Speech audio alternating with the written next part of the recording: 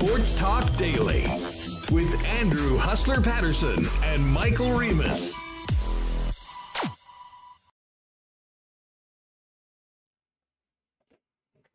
What's up, gang? Let's do this Wednesday show, and we got a big one today on Winnipeg Sports Talk. Great to have you all with us. Andrew Paterson, Michael Remis, and uh, as I mentioned, we are loaded today. Jets prospects on the ice today in official skate for the first time as rookie camp's underway. And then it is off to Penticton for the Young Stars competition. Spent quite a bit of time yesterday talking about, got some great feedback on the show and the YouTube comments as well. Thanks to everyone that dropped those in for our Why Not question of the day. Got another Jets related Why Not question of the day coming up in just a few minutes. But um, this is going to be a lot of fun. Jamie Thomas will pop on first, probably from the Iceplex, I'd imagine, where the prospects are getting things underway before the trip to Penticton. And uh, Jamie, obviously, uh, as part of the Winnipeg Jets broadcast team, will be out in BC all weekend long. We'll find out more about how we can watch the games, follow along, and uh, get a little bit of a preview of what's to come for the Winnipeg Jets over the next little while. And then you're all going to be happy about this, folks. It's been a minute, but um, our guy, Murat Ates of The Athletic, is back off holidays and back on Winnipeg Sports Talk. And we've got an extensive conversation with Murat because while there hasn't been many things that have happened since we last spoke, here we are with training camp just around the corner. And I think you're really going to enjoy the conversation we uh, have with Murat a little bit later on the program. And we can't forget about the Winnipeg Blue Bombers. Yesterday, after the show, got a chance to catch up with Jackson Jeffcoat of the Blue and Gold, talk about the sweep of the Labor Day Classic and the Banjo Bowl, where the team is at right now.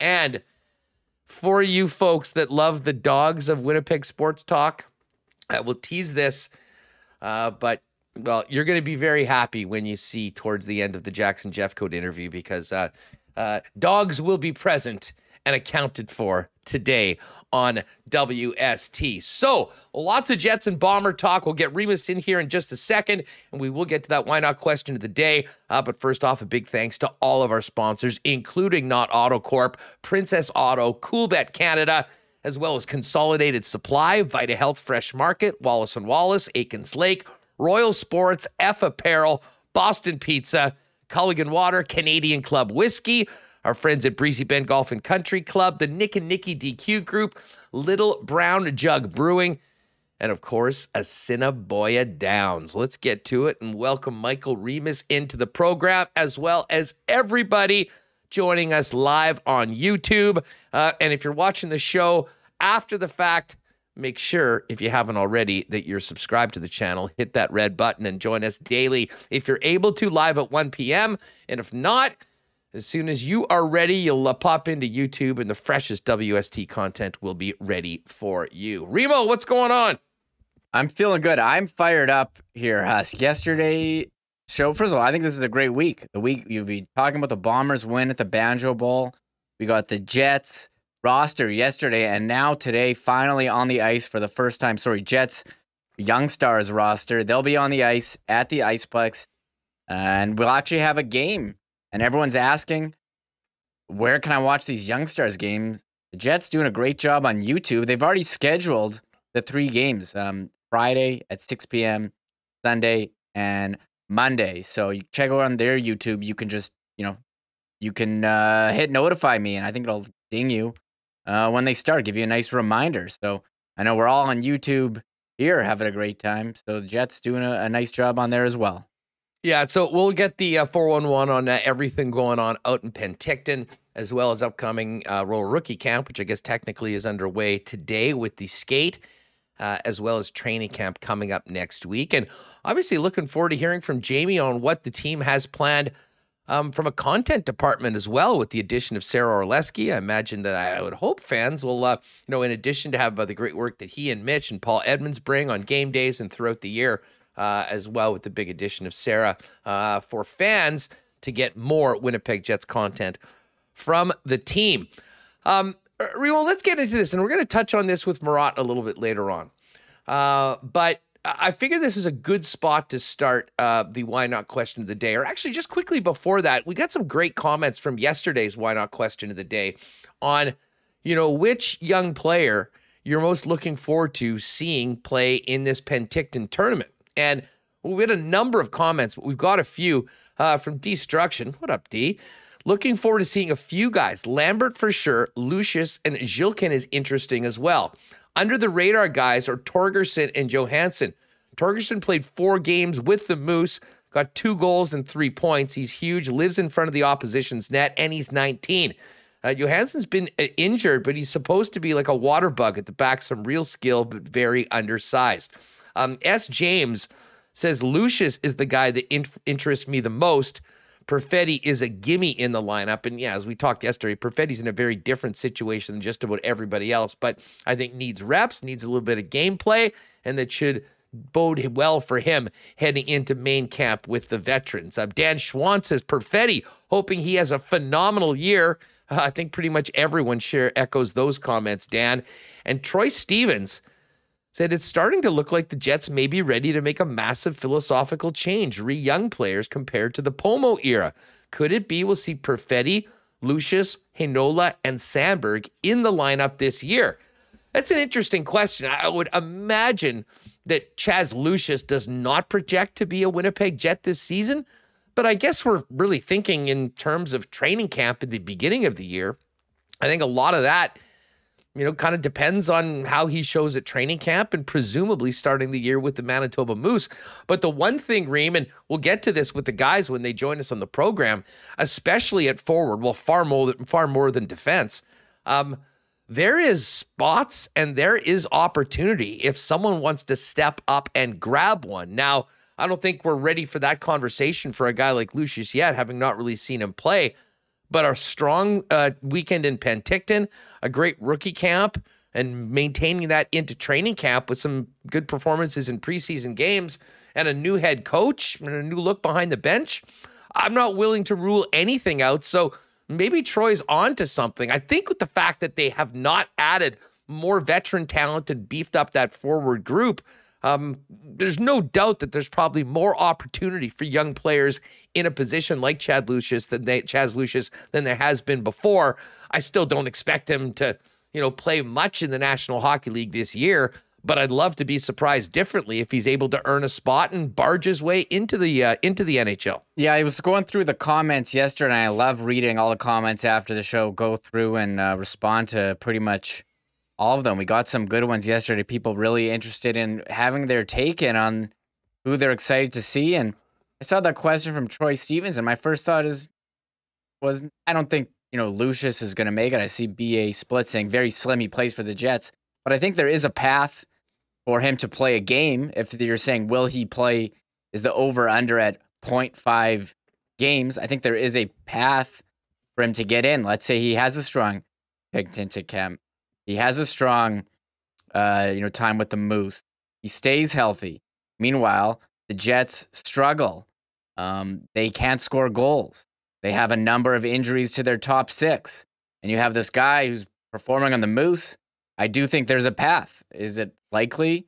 Um, maybe not, but will he get one gimme game at the end of the year for a, you know, for a job well done on the season? Will they?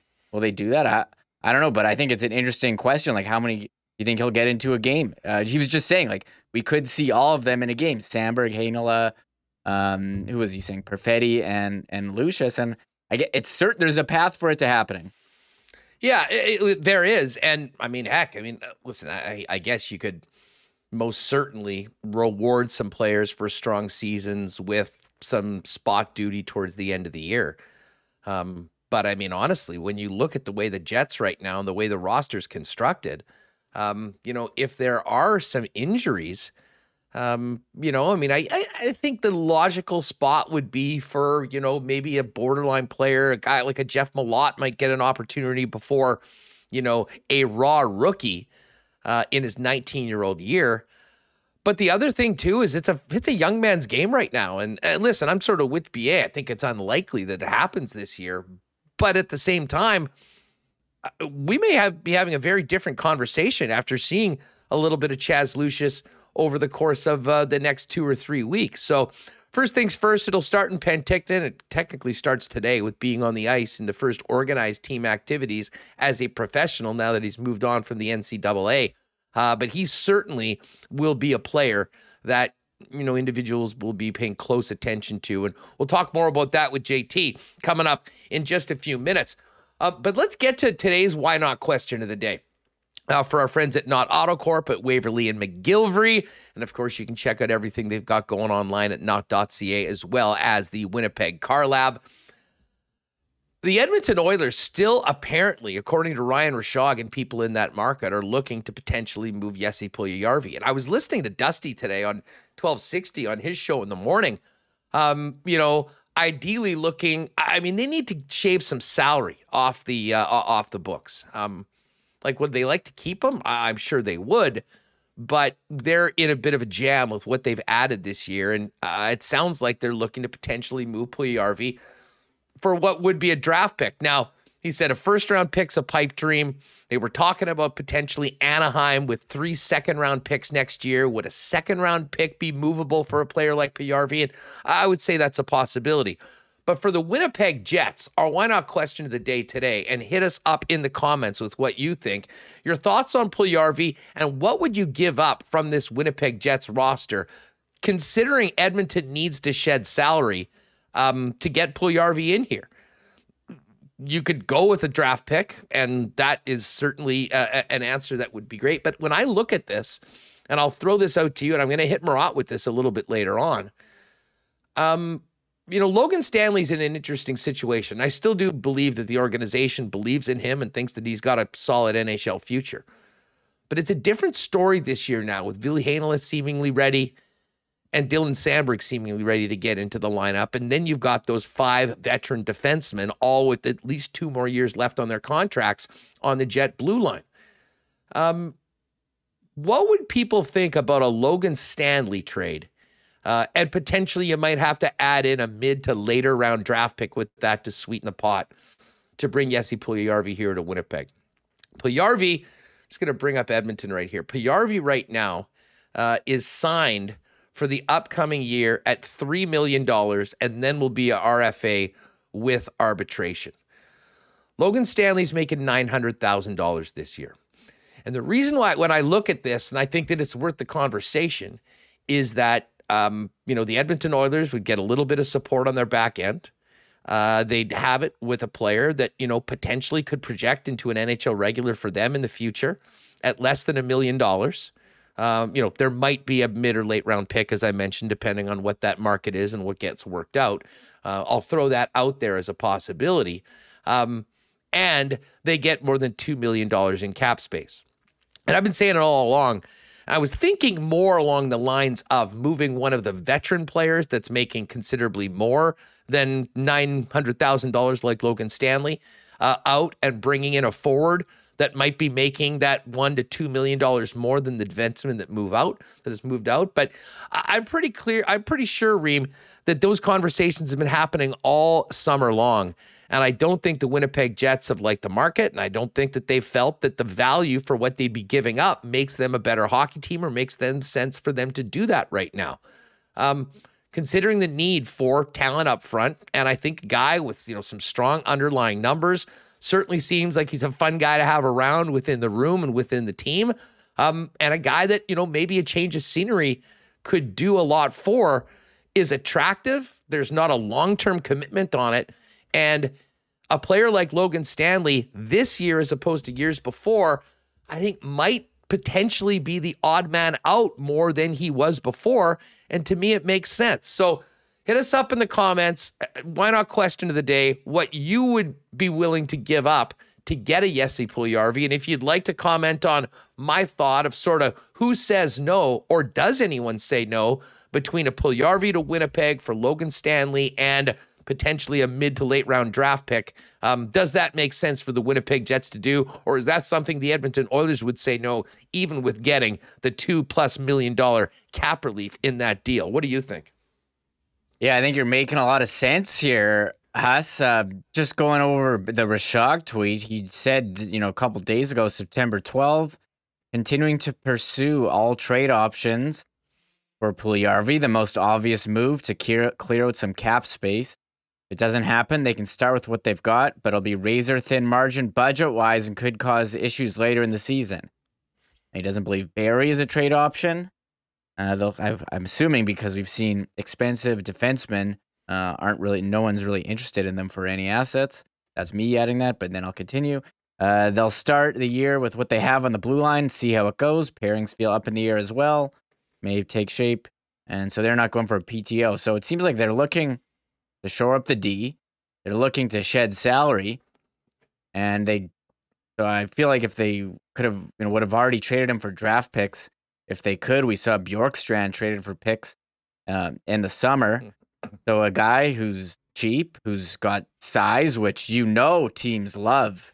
They love size. How He's can six you, seven. How can you resist a six seven defenseman? And I kind of agree. It seemed like Dylan Samberg hmm. overtook him in the depth chart at the end of the season. Seems to make a lot of sense. So I wonder if they do that. But well, the Jets are the Jet. What are they going to do with their logjam of defense? And something's got to give there with the Jets. And and Puljujarvi would be a perfect player for them. They need a guy who can play you know, top of the top of the lineup on the wing. Uh, big guy, go to the net. He can go to the net, bang and pucks.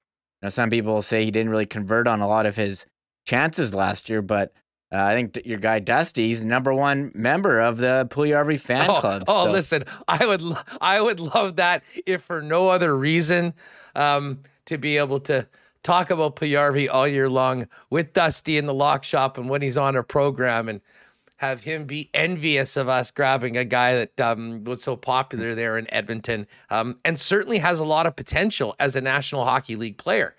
Um, the one thing I'll say, and you mentioned, and I agree, I mean, at the end of the year, it really did seem like Dylan Samberg had popped in and, you know, sort of jumped Logan, um, you know, as far as that depth chart. Um, but is that the organizational depth chart or was that the depth chart of – uh, does the depth chart change, I guess, with Rick Bowness coming in as the head coach?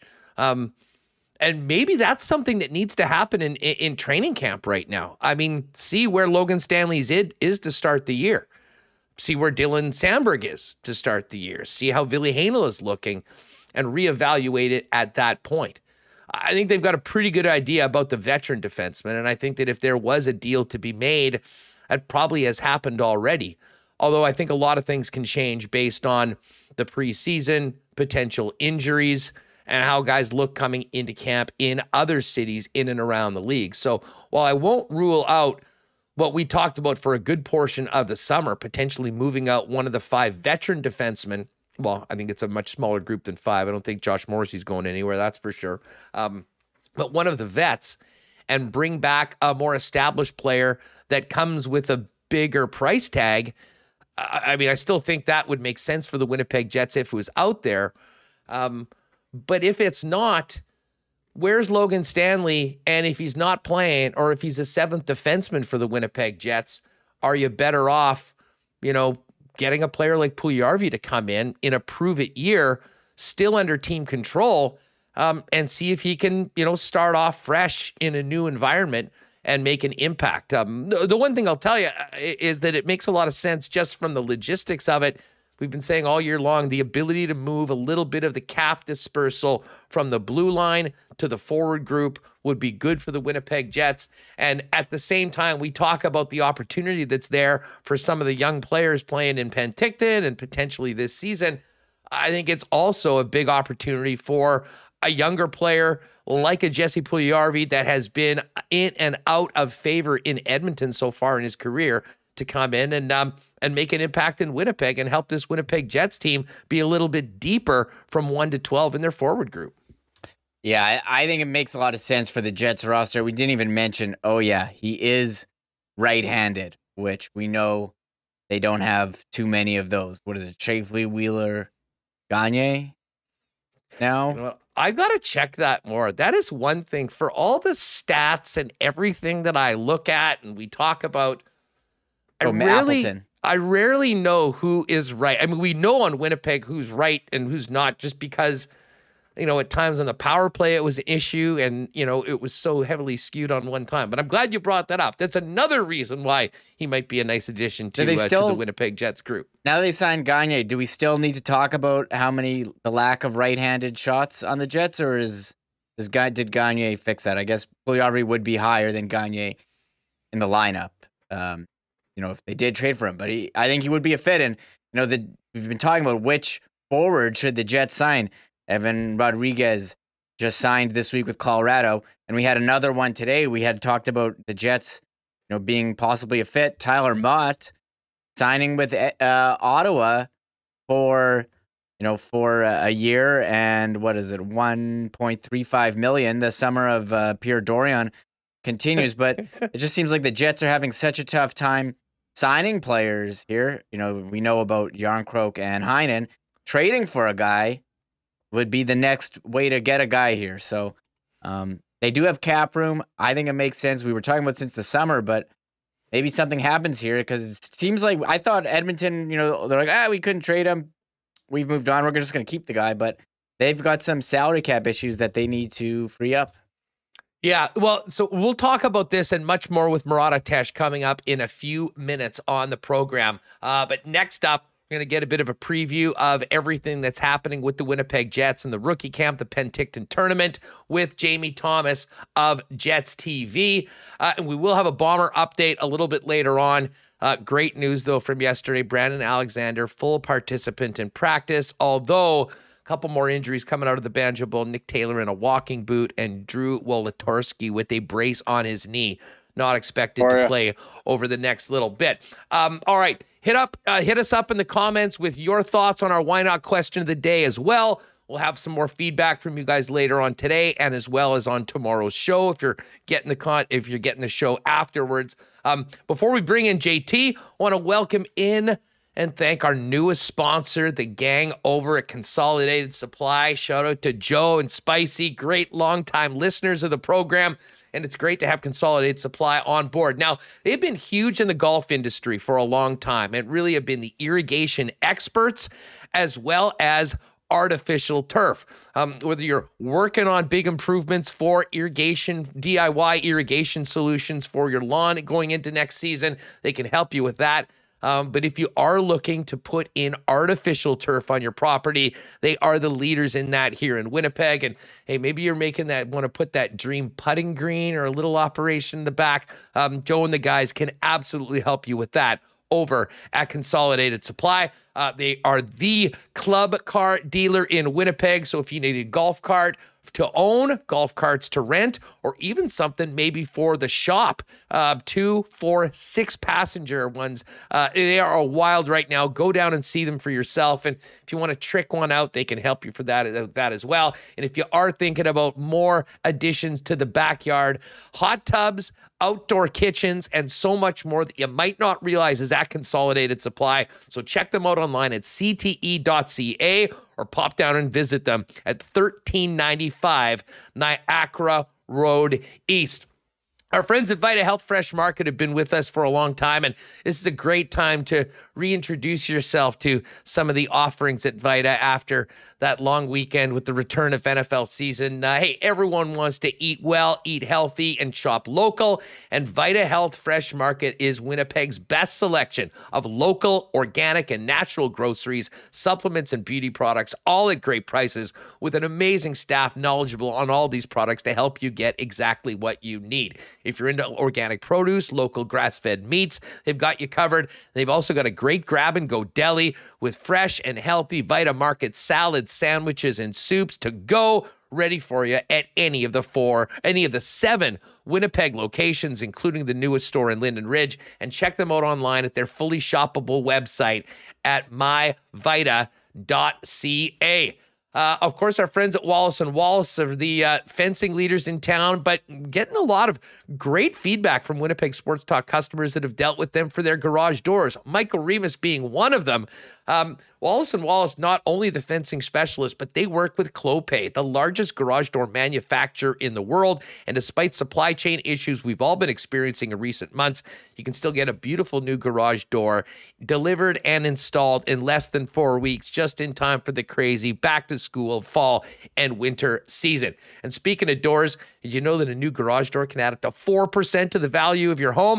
161 styles of garage doors to choose from. There's definitely a style that's right for your home. Talk to the experts at Wallace Doors online, wallacedoors.com. Give them a call or pop down and visit them in person on at their showroom on Lawson Road. And a big thank you to our friends at Aikens Lake. Saw Cole Perfetti and Connor Hellebuyck out at Aikens on the weekend uh, as part of the True North Foundation fishing trip. The guys both banging out some big ones on the lake. And as amazing as the fishing is at Aikens Lake, I always tell people it is the people, the hospitality that make it even better. Uh, the Turen family, absolutely the best. If you're thinking about making a plan to get out to Aikens next year, get on it now. It's filling up at Aikens Lake on uh, aikenslake.com online, or you can contact them on any of their socials at Aikens Lake as well. All right.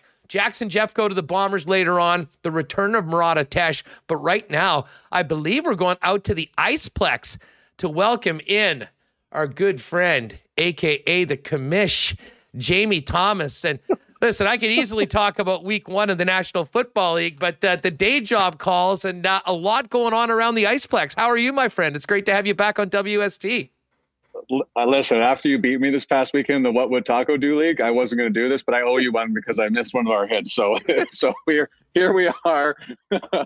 I made fun of your first round pick of Travis Kelce in our pool, and look what he does. He burns me. So then you get a terrible week from Aaron Rodgers, and you still win. Like there are so many things, but I'm not going to talk about. Yeah, yes, I, we're I back at the. I love the fact that on our site now we can give players nicknames, and I give love a very it. derogatory name to Aaron Rodgers. and I'm in the market for another quarterback. The rest of the team looks good. I don't want to deal with Rodgers all season long, especially with those rookie receivers. Uh, speaking yeah, of rookies, yeah. The rookies yes. are on the ice today. Uh, you got that mm-hmm. good uh, new season feeling. Uh, fill us in on uh, what the atmosphere is like around there and uh, the fresh young faces in the organization that have popped in over the last few days that are on the ice today, JT. Yeah, I mean, anytime you can come into the rink and there's three first round picks, the Winnipeg Jets, I hmm. think you could be pretty happy about that, right? And I think that is one of the things that stands out for this uh, the Young Star tournament that's going to be in Penticton this weekend. Uh, the Jets will open up against the Edmonton Oilers, and it's great to have the gang all back, right? Ordinarily, this tournament has uh, Winnipeg, Edmonton, Calgary, Vancouver. The two previous editions I went to were it was just Vancouver. Uh, the one I went to in Belleville was Montreal and Ottawa's prospects along with the Jets. So this is the first time I've been around for the full Young Stars effect. But you know, Cole Perfetti, Brad Lambert, and of course um, that that Chaz Lucius, right? That's some star power right there for the Winnipeg Jets. And it is great to be back. It's it's been far too long since we've been in the rink. Uh, it was a tremendous summer weather-wise, but as soon as that you know the calendar turns to September, it's great to be back here and uh, see all the new faces and not so new faces uh, for the Jets prospects here at the Iceplex. Um, so Jamie, how are things going to work? I mean, they're on the ice today. Is there a couple practices yeah. before they end up going out to, to Penticton? And um, is Rick Bowness involved? Is it Jimmy Roy and Mike Keane? I mean, uh, how is the organization handling um, introducing these guys into the organization uh, as well as you know making things happen for actual game action uh, out west? Yeah, it's the Manitoba Moose coaching staff. So Mark Morrison and company, uh, course, Nolan Baumgartner joining the coaching staff this year. Uh, they're handling practice, and they'll be the, the guys behind the bench uh, in Penticton. So that that is who will be running things here. But uh, you know, great group of guys. Uh, love the love the Moose coaching staff. You get to get to know them a little bit more because, as you know, when the Winnipeg Jets season started, you don't get as many opportunities to talk to the Moose coaching staff. So uh, there was physicals today, and you get to see the fine specimens that the Jets have drafted in and brought in in personal trial contracts. But man, it's uh, it's so good to be back, buddy. A lot of so much speculation over the off season, and now you get to start talking to the guys for real. And uh, so, you know, I saw Adam Lowry and company a little bit earlier here today at the Ice Iceplex as well. Uh, just uh, on the big club, because we won't spend a lot of hmm. time talking about that right now. Um, yeah. Are most of the guys back and skating? I, am not sure how many guys were out there right now. We've seen pictures the teams put out of Wheeler and Cole Perfetti. But yeah. I mean, where, where are we at as far as the entire group being here and on the ice? I, I saw, you know, the, the, of course David Rittich and, and Connor Hellebuyck. I'd say about 12 guys were out there from the from the big club, right? So I know it all starts for real, but I believe the majority of the Jets are are in town and ready to go and start skating. But I only saw about 12 guys out in the ice today there, Huss. Uh, Jamie Thomas is with us from Jets TV. Uh, uh, you guys are planning some great coverage out from Penticton. Um, I know mm-hmm. there's a mm-hmm. lot of excitement, more so this year than I think in recent Young Stars tournaments. A big yeah. part of that is the reason that there's three first rounders in this lineup that you just mentioned. Um, mm-hmm. Fill us in on what you guys have planned, how people are going to be able to see the games, and uh, what else you guys will have content wise coming out of Penticton. Well, the best part is, is like uh, the, all all the games will be on uh, WinnipegJets.com. All the Jets games, sorry, they'll, they'll, they'll be on WinnipegJets.com. You can see it on the YouTube page. I believe TikTok will be available or part of the process. I apologize. Like TikTok, I'm still not fully caught up on. I'm fully expecting works, you. I'm fully expecting you and Edmonds to be doing like yeah, TikTok dances yeah, yeah, at intermissions. I mean, hey, you want to boost the numbers? Yeah. There's my suggestion for you. I won't even send you a bill for that one. Jamie and Paul doing TikTok dances at intermission. Let's go. Anything with Edmonds boosts everything in terms of uh, social content. So, but uh, Paul Paul will not be making the journey. We paper scissors rocked over it, and I I won. So uh, I'll be uh, providing color analysis on all three of the games, and then whoever the Oilers, Jets, and uh, Canucks send in for their play-by-play guy for that one. But also, uh, we're going to do a segment called "Not So Long Walks on the Beach." Uh, I'm going to walk with a couple of three of the Jets prospects on the beach on Okanagan Beach. Hopefully the weather holds up, but uh, it is going to be about two minutes. Really looking forward to kind of getting to know the guys. Uh, Chaz Lucius will be one of our guests, and I believe Simon Lundmark is another one, a second round pick of the Winnipeg Jets on their blue line. I had some time with the uh, Manitoba Moose. So that'll be part of it. And then there'll be some TikToks coming out. Uh, Cameron Penny is uh, one of the guys in our social media department he's in charge of that, but that will be uh, featuring a lot of the Jets prospects during this tournament. So a lot of fun stuff in store. I will not be taking part of any TikToks. I can tell you that right no, now. we need a dance. It's going to be Perfetti coming in, mm. and then Lucius, yeah. and then Lambert, yeah. and then Thomas coming in. Listen, make it all happen. Probably uh, to make it really awkward, maybe I'll ask them to take off their shoes and we can walk in the lake while we're having the not so long walk on the beach. take a walk with me, Chaz. Let's um, go. speaking of TikTok, um, folks, uh, make sure you're obviously following at NHL Jets on TikTok and uh, Sports Talk WPG as well. Remis is doing a great job uh, cranking out a bunch of content on that uh, platform as well. And there's a new one today. So if you haven't checked it out so far, now's a great time to remind you to do that. Um, the other guy, you know, we spent a good time talking yesterday um, on our Why Not question of the day off the top of the show, JT, uh, about yeah. who fans were most excited to see. And listen, Cole Perfetti obviously is at the top of the list. He wouldn't normally be in this tournament, I don't think. But no. um, listen, he missed a lot of last season. He's coming back. He didn't play in the World Juniors. So the opportunity to get games against peers, I think, will be great for him, who I think is a lot is going to be counted on uh, once we get to main camp. Um, but one name, you mentioned Chaz Lucius, the other one is the other one of the first rounders, and that's Brad Lambert, who was just picked in this year's draft um, at number 30. Lambert, it, it, there's fascinating options for Lambert within the organization this year, seeing mm-hmm. that he's come from Europe. He's a Finnish player, does not have a European deal this year. WHL rights are held by the Seattle Thunderbirds, who won the WHL last year. Um, and then, of course, there's the Manitoba Moose option. Um, mm-hmm. We've heard a lot about what he brings to the table and got, you know, some chances to see him at the World Juniors. Um, thoughts on Lambert and maybe what's at stake for him over the course of the next little while, as opposed to, you know, deciding where he plays this season? Right. I, I, you know, let's first and foremost, let's deal with the, the World Juniors, right? He was not part of the roster in the semifinal and final. And, you know, it's sometimes people quickly forget that the World Juniors are a 19 year old tournament, and Finland's uh, roster was loaded with them. So Brad Lambert on the outside looking in, watching uh, for the big parts of that tournament. But he is like I, you know, the Jets said he was the best skater in the draft. I think a lot of scouts went along with that. Um, I got to see him firsthand up. This is the first time I've seen him up close. He's got great wheels, and I think that part is makes him uh, a must-watch kind of player you have to admire the fact that he stayed instead of going to the Western Hockey League at the time. Saskatoon owned his rights. He chose to stay in Finland and work on a defensive part of his game because he understood that that part of his game needs work. And if you're going to play in the National Hockey League, you have to have that 200 foot game. So the the skill, the skating is there, the skill is all there, but he wanted to work on the defensive aspect of his game. So I I think not so much that a lot is at stake, but I think we're going to see how comfortable he is right away uh, here playing with the Winnipeg Jets. And you would like to see in a tournament with his peers and around the same age group him have some dominant performances uh, in the three games uh, in Penticton this weekend. There's no question about that. Now, do I think it's going to hurt him his chances of what, where he's going to play right away? No, I think that is, is going to be more for main camp. But uh, the, the speed is legit with Brad Lambert great hands in tight. It's that's the that's the stuff we're going to be looking for in these three games over the weekend. Well, you know what? I mean, to be fair, I mean, I know we wasn't played in those last couple games for Finland uh, in the yeah. in the tourney. Um, but if you go back, I mean, that was such a weird tournament. It was in the middle of totally. August. If you yeah. go back to the original tournament at Christmas, he had two goals and five points in their first two games. So had a great start and then um, you know, a little bit of an unfortunate second half of the season, but to the benefit of the Jets that he was available for them because no one saw that happening a few weeks ago. And hey, just to correct myself, it, it, his rights are held by Seattle. They went yeah. to the WHL championship last year, but ended up losing in the finals to the Edmonton Oil Kings.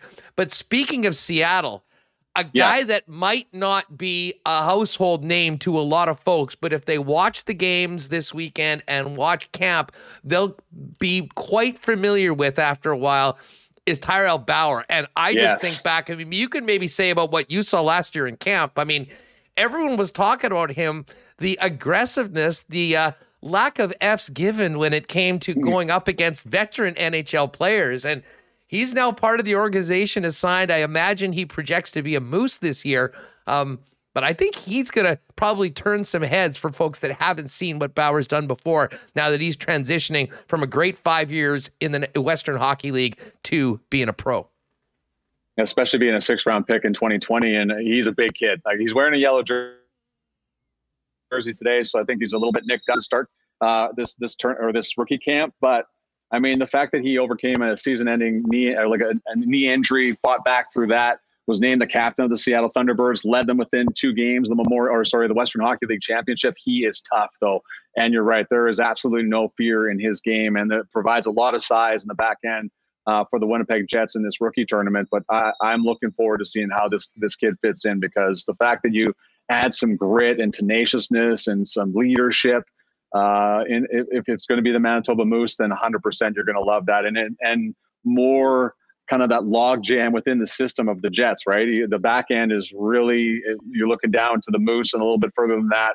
They've done a great job stockpiling NHL cal or pro worthy defensemen. So um, certainly a strength within the organization. But I, I love anybody that likes to throw the weight around. Um, and anybody that likes there's no fear of dropping the gloves either. And Tyrel Bauer is that kid, and also comes from my hometown of Cochrane, Alberta. So can never uh, knock those types of guys. um, hey, by the way, if you're with us on YouTube or if you're listening to the podcast, you're wondering where to find it. The broadcasts are already planned on the Jets YouTube, and if you go yeah. to the description of today's show, the links are all there, along with Jamie's Twitter feed, which you should also be following for some great coverage throughout the year. Um, JT, before we go, uh, have you talked to Bones much yet? Uh, have you had many interactions with the new head coach of the Jets? Just wondering how he's fitting in and uh, sort of the atmosphere that seems to surround him going into this upcoming training camp. Yeah, I unfortunately only got well, not unfortunately, was fortunate enough to sit down with him the first day of the before his uh, media availability uh, here in Winnipeg, but have not run into him. But you know, as as we tend to do, us we we phone around to our peers. We we text people, what's he like? What's this guy about? And and Dan Murphy, who is a long time uh, Sportsnet reporter in Vancouver, said one of his favorite human beings. Uh, knowing Murph as long as I have, I'll go with that. And for the most part, it just you know just exudes co- not so much confidence but positivity. Um, has the, the right idea of what he wants to do with this hockey club and uh, shore up on the defensive side of things and uh, just that new voice maybe that they've always that, that, they've needed for some time and uh, I'm all for anybody that's uh, ready to help this team get better defensively uh, and do it uh, and knows how to deal with us. I mean, there's no lack of experience in that department from Bones in that way, and uh, so can't wait to hop on that first charter with Bones and, and the rest of the coaching staff and see how how this is going to work out. Hey, Jamie, uh, one other big offseason addition, not necessarily on the ice, but off the ice was Sarah Orlesky. I know everyone's very excited to have her in the fold. Um, I'm not sure how much you know or can tell us right now, but um, just give us a bit of an idea about how um, the content uh, department is going to maybe be beefed up uh, with you, Mitch, Paul doing your things, but also the addition of of Sarah and what fans can look forward to having her in the fold. Yeah, and you know Sarah's interviewing is second to none, right? And that's one of the big reasons why they brought her aboard. Uh, hopefully, to get a little bit more access than in years past. Um, we already saw her sit down with Mark Scheifele.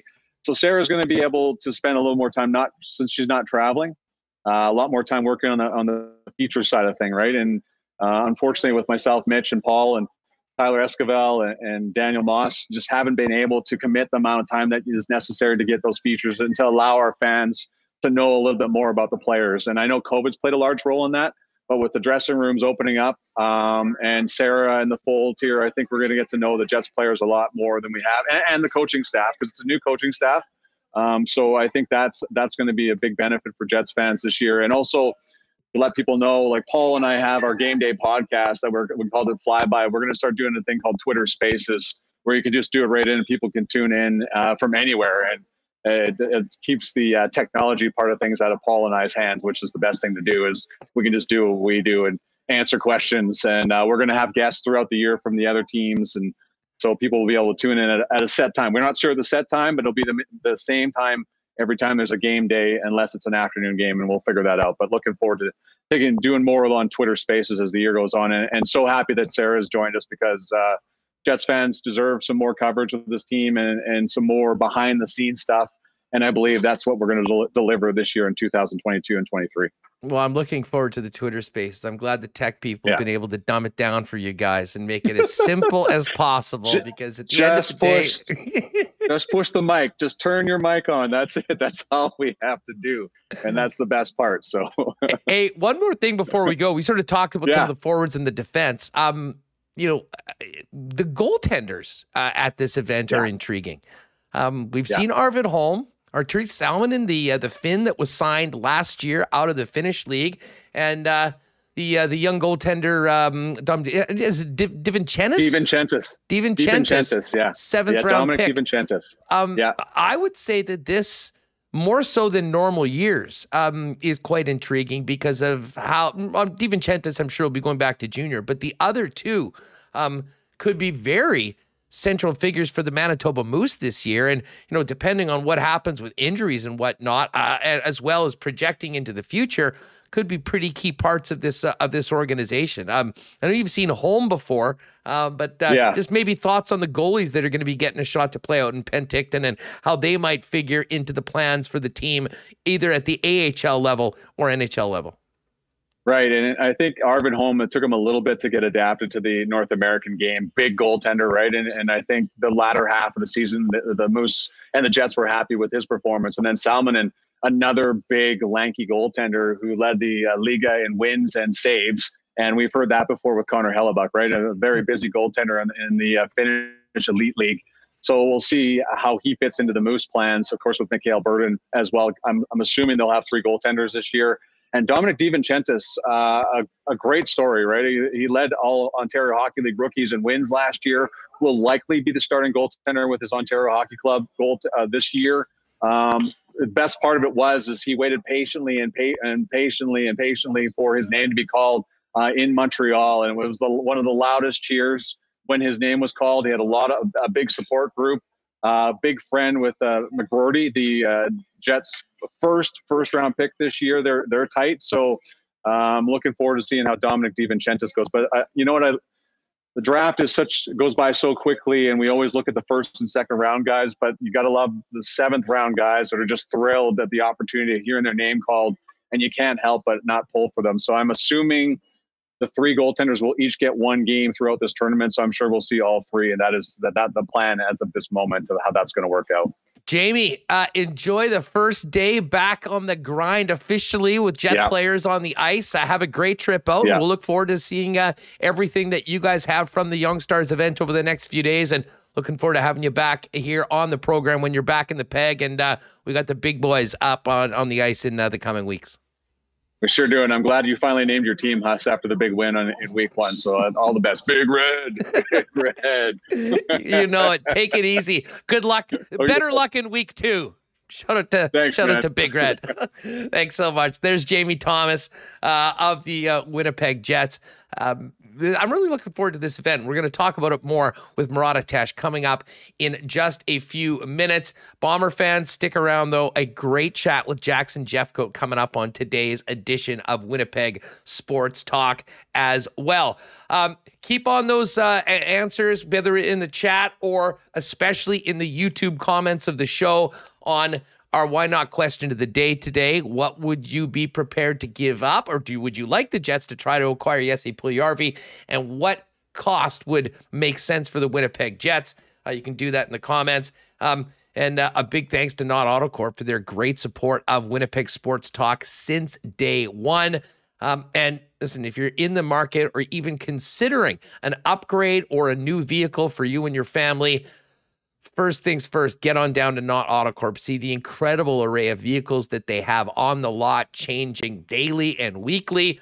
Um, and if you're thinking about an electric vehicle, Nott's been the leaders in Tesla sales for years here in Manitoba. They've got a new Tesla experience program to get you all the information you need to know on a transition from a traditional vehicle to driving electric. Um, uh, and bottom line is, if there's this particular make and model that you've got your heart set on, there's no better people to help you source it, find it, and get it here to Winnipeg and get you into it at the best possible price. That's our friends at Nott. Why not get into the car of your dreams at a great deal with the help of the Nott team? Pop down and see them, Waverley and McGillivray, along with the Winnipeg Car Lab, or check them out online at nott.ca. Well, we got jet season coming up. NFL is back. The Bombers are making another push for a third consecutive Grey Cup. It's all happening right now. And if you need to update your gear for your favorite team, you know where to do that. Royal Sports, our good friends down at 750 Pembina Highway. Uh, not only do they have the greatest selection of merchandise, maybe anywhere in Canada, to be honest. If you've ever seen the stock and merchandise they have, uh, but they're also the hockey leaders in Winnipeg for over 35 years, hiring players to help you get the best equipment to make the biggest difference in your game. Royal Sports, 750 Pembina Highway. Get ready to drop the puck. And follow them on Instagram as well at Royal Sports Pembina for the latest merchandise drops and sale information. Um, speaking of back to school, back to work, might be time to get a bit of an upgrade in that wardrobe department. And the gang over at EPH Apparel are ready for you. I can tell you personally, both myself and Michael Remis just went through the process of meeting with Andrew and his staff, finding out the options for suits, what sort of colors, what sort of materials. Um, and of course, getting suited up and fitted for it. And uh, now we're back. We'll have a challenge for you soon. We will do another suit show very soon in the future. Uh, but if you need to upgrade the wardrobe, get on down. Custom suits beginning at just $400. All the accessories you need as well at great, great prices. EPH Apparel is the spot. They're at 190 Smith Street downtown. Find out more or make an appointment to go in and see them at F. That's EPHapparel.com.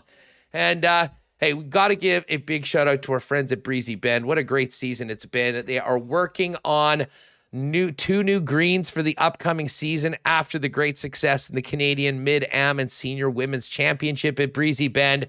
And it's been a, just a few phenomenal years out there. The course has never looked better. The membership's never been healthier. And if you're thinking about a place with a great junior program, social scene, and a perfect home long term for your family on golf course at one of Winnipeg's top private courses. Breezy is the spot. Hit up our good friend Corey Johnson or find out at the clubhouse or find out more online at breezybend.ca. All right. I know some of you have been saying, where the heck is Murat? Well, Murat took some well earned time off, but that time off is over, and it's time to welcome Murat Ates back to Winnipeg Sports Talk to talk Jets. What is going on? I have some good time off? Get away a bit?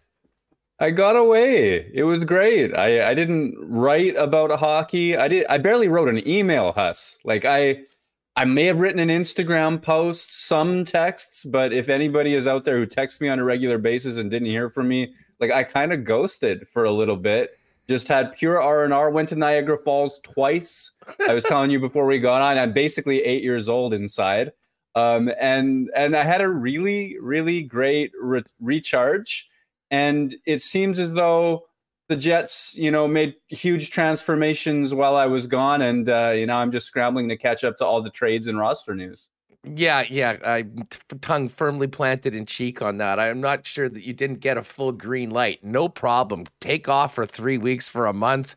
We'll be back here just as he left a little bit before, although we will get to the Sam Gagner signing. But listen, I, I, do want to talk about some of the big stories and themes going into camp that you touched on in the athletic piece in a minute. Um, but considering today we've got bodies on the ice in official team activities for the first time in the rookie camp, maybe we should start there. Um, obviously, the tournament is going on this weekend was quite interesting to see Cole Perfetti on the list. And we talked about this yesterday. I'm sure you'd agree. I mean, important for this young man to get some reps after the amount of time that he missed last season. Uh, but who else intrigues you about the uh, the group of prospects that we'll be seeing playing out in Penticton wearing Jets colors on the weekend, Murat?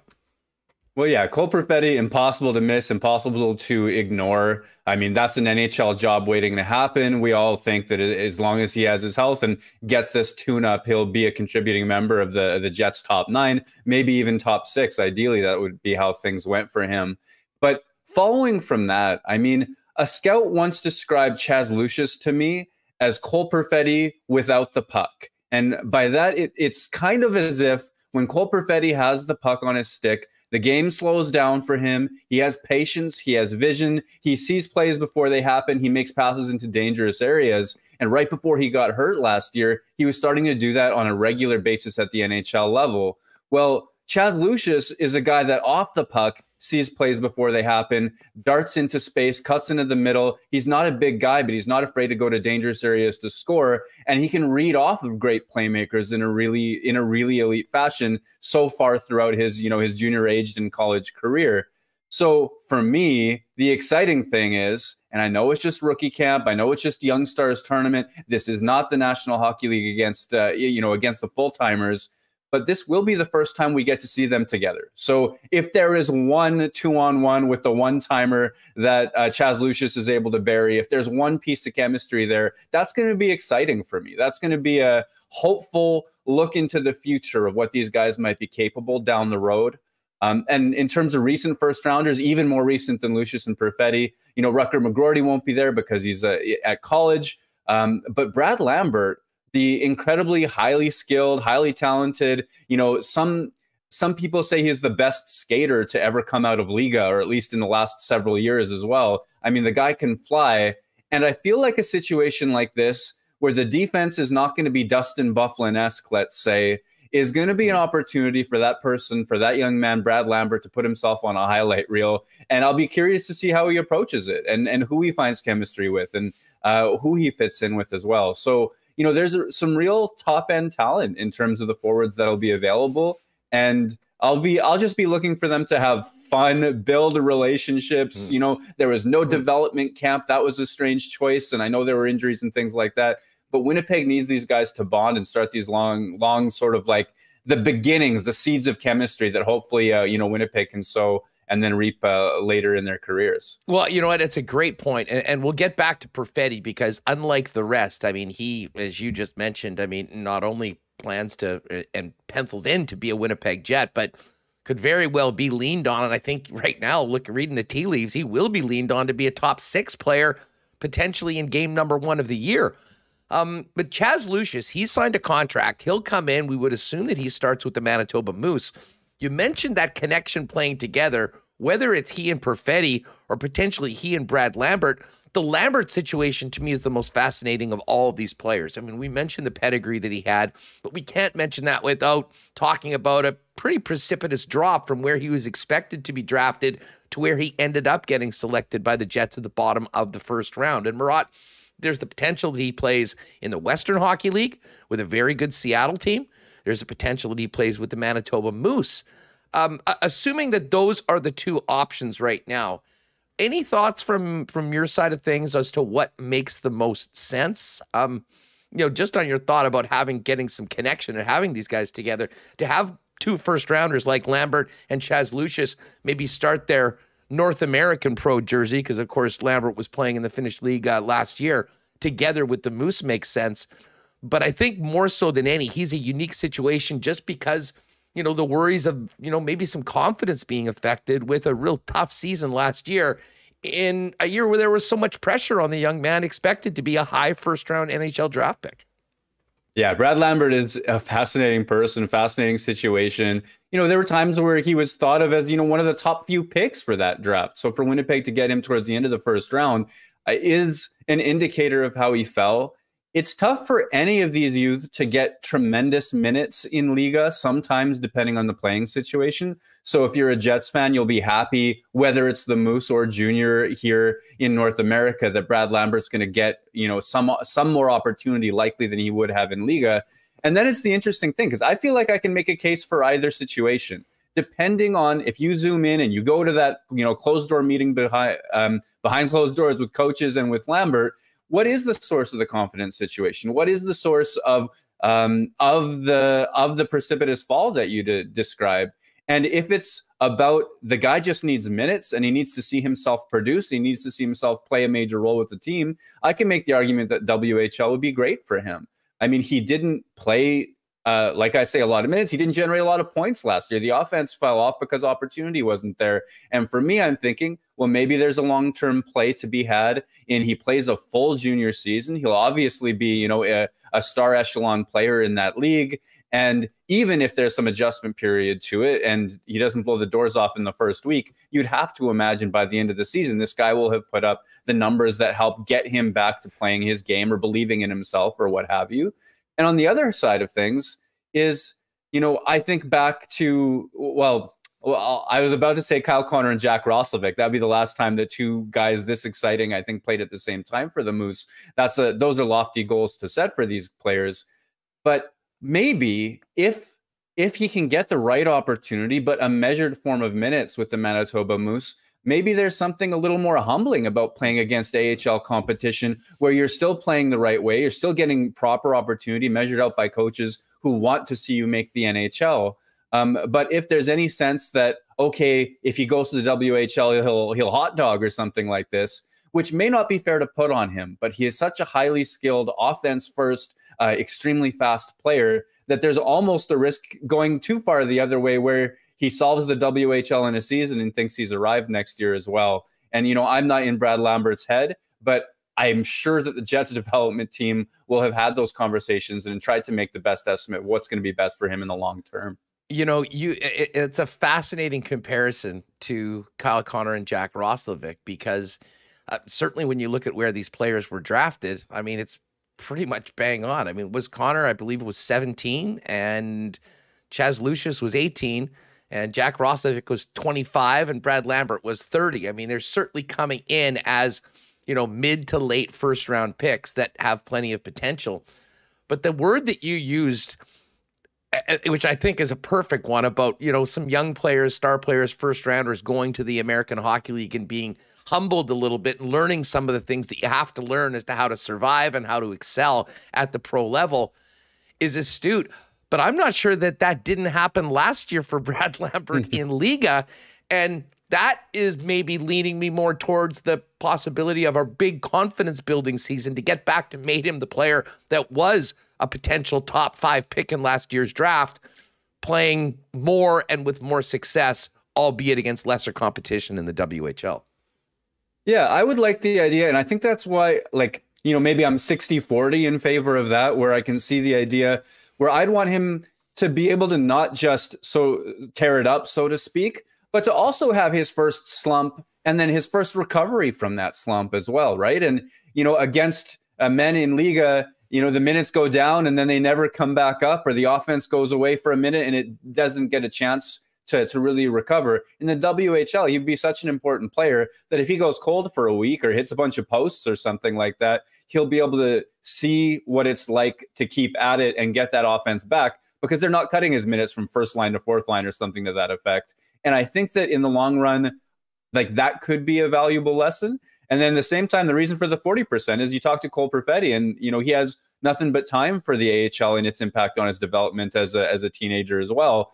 And you know, I like the trajectory that Perfetti is on Mm-hmm. uh, too, but he would have been coming from an OHL season where, especially in the back half of his draft year, he was he was really tearing it up. And maybe that's just the thing that Lambert needs at this stage, and we shouldn't be getting too far ahead of ourselves based on his skill set and pedigree. Yeah, no, I mean it's an astute point. And the one thing I'll say, I mean, we've heard so many times before with the Jets, you know, lamenting the fact that if you take Canadian players, you know, that year after their draft, they're not eligible to play in the American Hockey League. Um, because I think they, you know, all things being equal, they'd prefer to have the guys here in the city be closer to the organization and play pro and be closer to the National Hockey League. But Lambert is such a unique case. Um, a- and that's why I think he probably is the most intriguing player when we get to training camp, development camp, and of course, this event coming up this weekend out in Penticton. One other thing that did happen, there wasn't a lot, but one thing that did happen while you were gone was the signing of Sam Gagner. And uh, listen, I mean, goes to say we were expecting far more action this year for the Winnipeg Jets in the offseason. Uh, a uh, low risk, one year bargain basement $750,000 signing of a veteran player doesn't move the needle that that much. Um, but I do think he brings a lot to the Winnipeg Jets in areas of need. What do you think about that and uh, Sam Gagner's fit in with the Winnipeg Jets coming here at this stage in his career?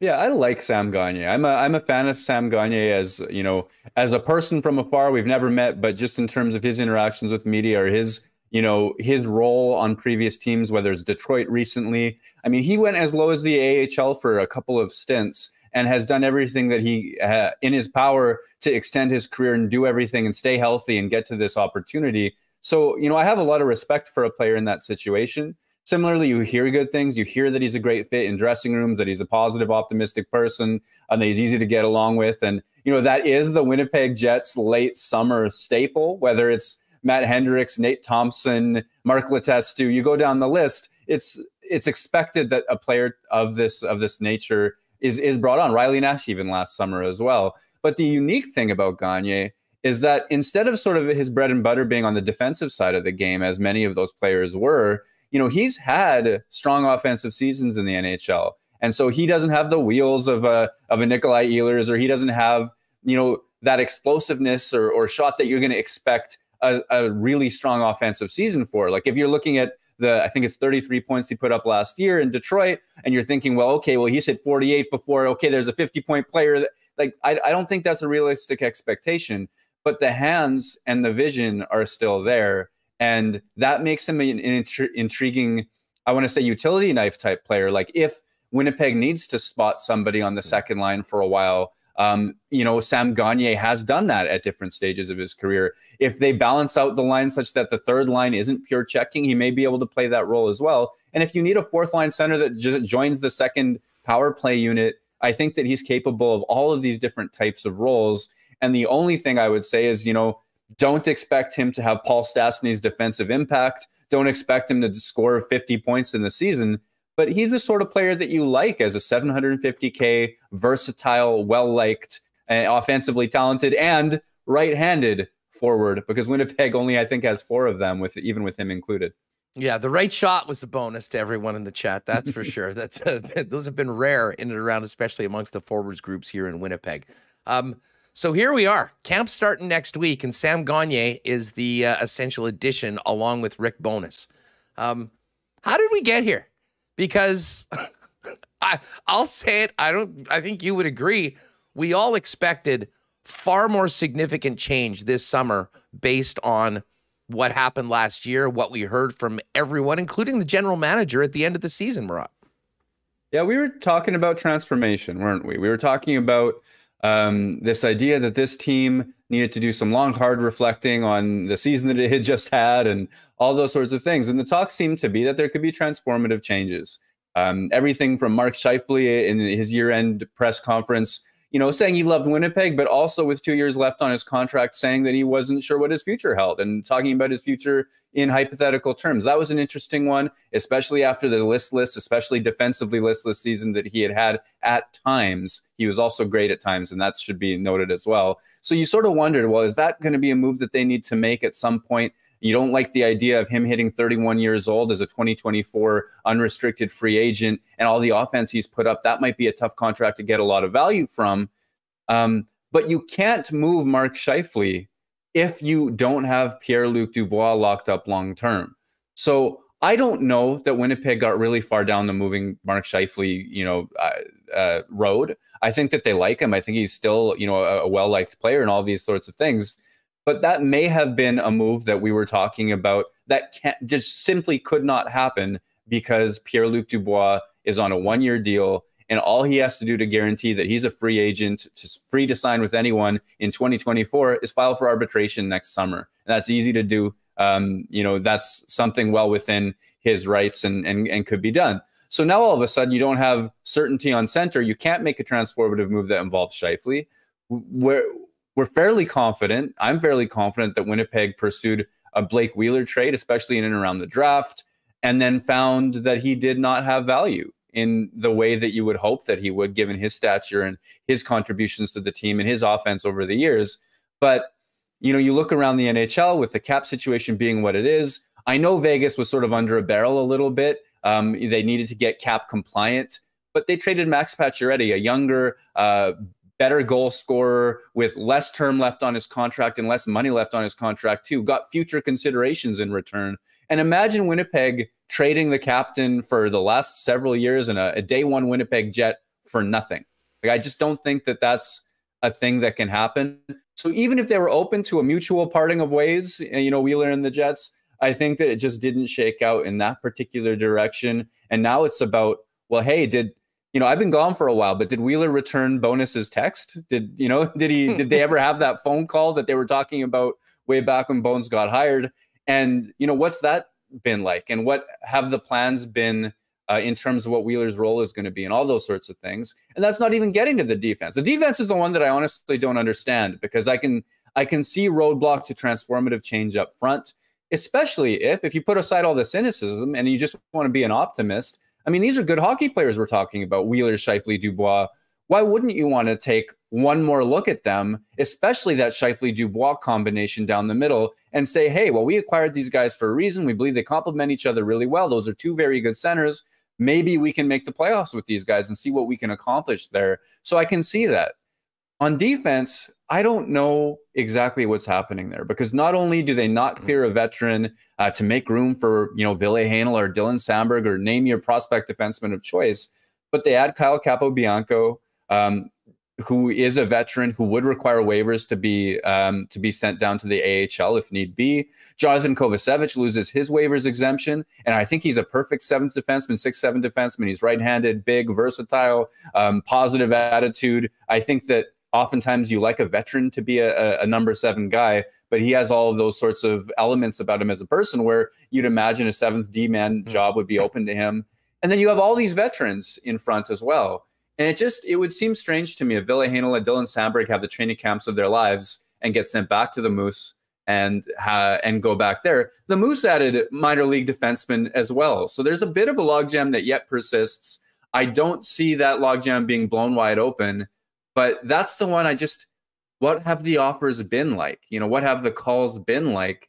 Um, and why are the Jets responding in the way that they are? Maybe maybe they just don't want to waste. Mm capable players for for nothing or maybe there's a different strategy at, at hand that I that I can't figure out or they they believe they have to go all veterans for a shot at the playoffs or or what have you that's the one that that we're still waiting on I think yeah eh, eh, you know the I mean the logjam on the blue line is fascinating it has been something that you know we've talked about really since the end of last season looking ahead to the fact that you know you'd like to see Ville Heinola get a legitimate shot Dylan Samberg showed that he is ready to go and you mentioned Johnny Kovacevic, who's been a great part of this organization, has some NHL potential, and you would risk losing for nothing. I mean, the only thing I can imagine right now, and I guess maybe we read the tea leaves a little bit. Dmitry Kulikov got traded for good old future considerations, essentially take him for nothing.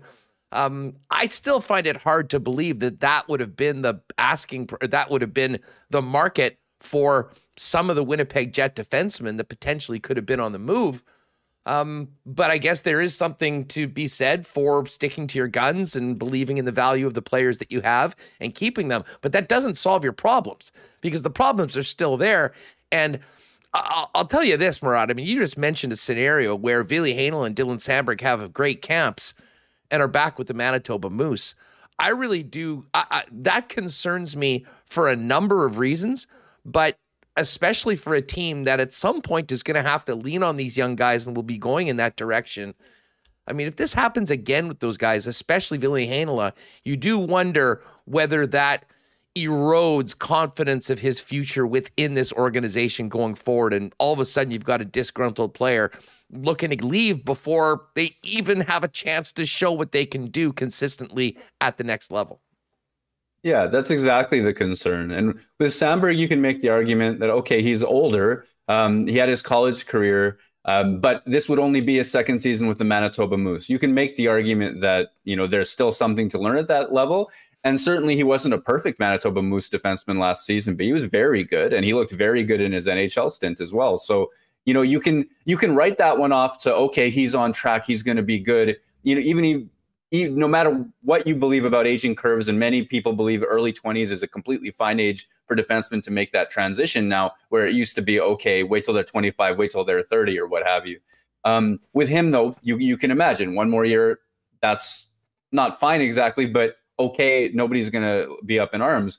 Ville Heinola has been through the ringer, and he made an NHL team, the Winnipeg Jets, maybe before he was ready. You know, he was moving the puck really well um, that was a you know an injury depleted team. That was a team in in dire straits.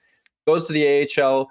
There's the 2020 season or 2021 season. Pardon me. Um, with the bubble situ, with the taxi squad situation. Pardon me. Where he goes a month without playing an AHL or NHL game. Um, and that could not possibly have been good for his development and would have been a challenge uh, for him personally as well. And then this most recent year is the first year you can make the argument, well, hey, they actually got a whole bunch of veterans. It makes a little bit of sense that he would play in Manitoba and wait for his opportunity, get his opportunity, and seize it.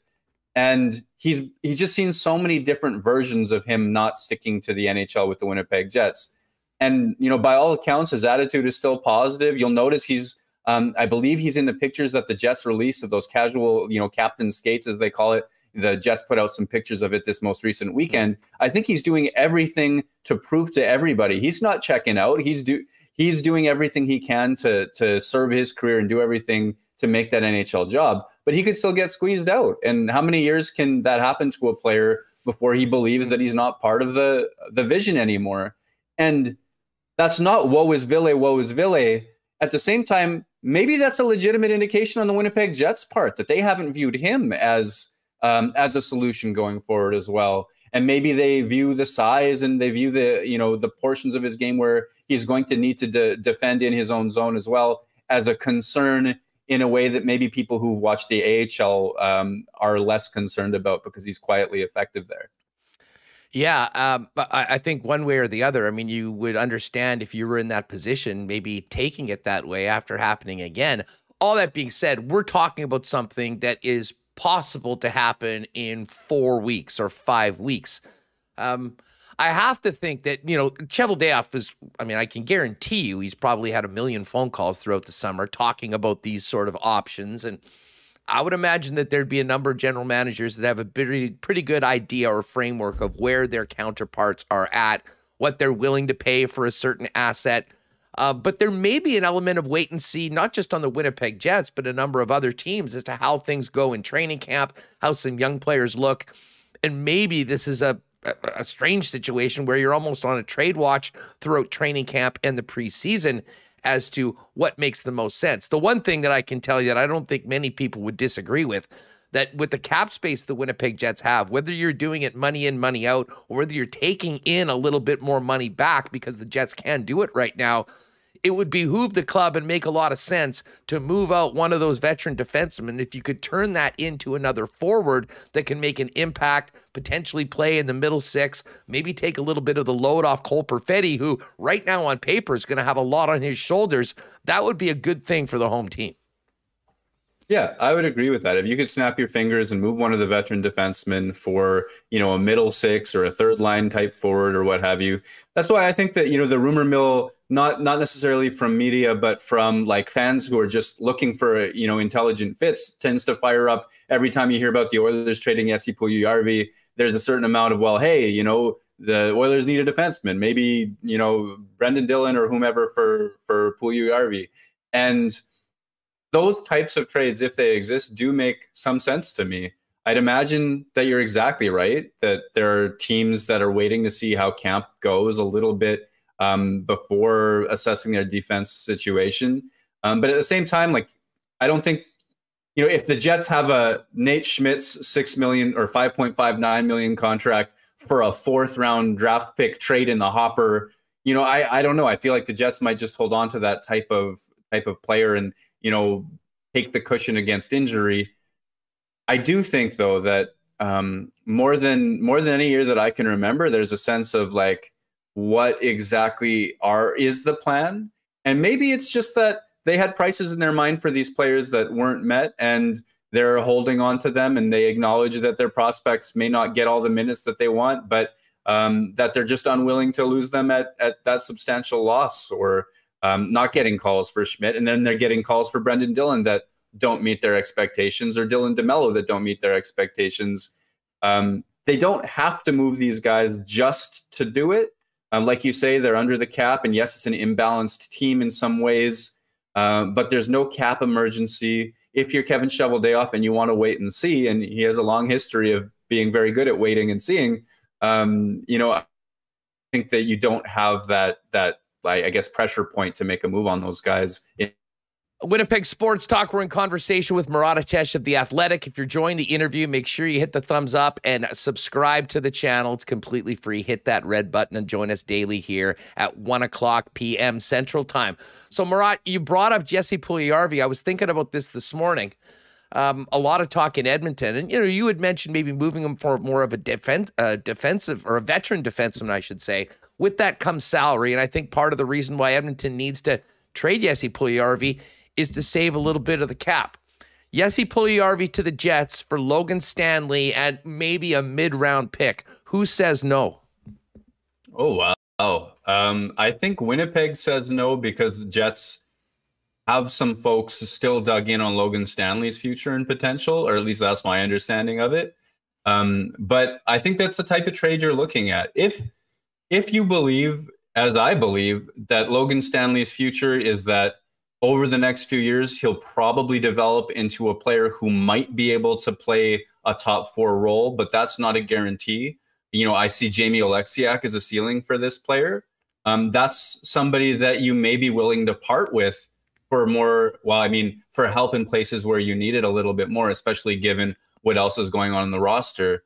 But I think that there are some folks who despite you know a difficult year for him last year look at how well he did in a more sheltered role the year before and wonder if there's something there to it. So you've got me on the edge where i'm thinking to myself well i'd probably make that trade but hold on let me think. And if i'm there i don't think the jets are there and i'm sure the fan base is divided. So i look forward to all the comments being like Murat, you're either like hilariously wrong for not saying yes immediately or hilariously wrong for even considering it at all. Because i know that logan stanley is a divisive player well, I, no, but I think you make a really good point, and I think you're absolutely true. I mean, there's obvious this organization's put a lot into Logan Stanley, and this goes back to our conversations last year as to why we thought I, I thought that this guy was going to be protected because he's been a cornerstone. The fact of the matter is, he didn't have a great season last year, and the circumstances are different now. Dylan Samberg's here.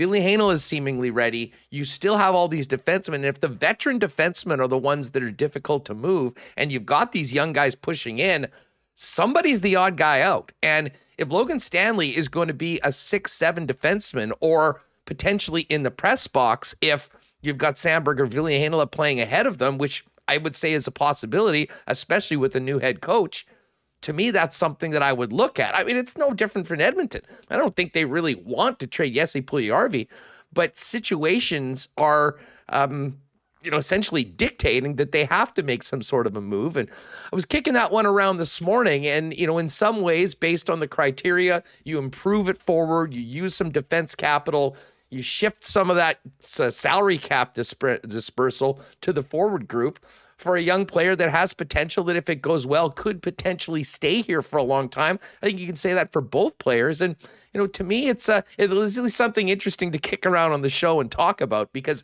that is the sort of trade that I think does make sense. Hey, if you could move one of the more expensive defensemen and get a more high-end player, I mean, go for it. But I don't think that's been there so far. I think if it was, it probably would have happened already. Hundred percent. If it was there, I, I believe that it would have happened as well. Like I don't, I don't think, but that Winnipeg's looking at, you know, okay, you added Brendan Dillon and Nate Schmidt, and you had the season that you just had. It was underwhelming, but since you added those guys, you have Morrissey, you have Pionk, you have Dylan DeMello, Stanley.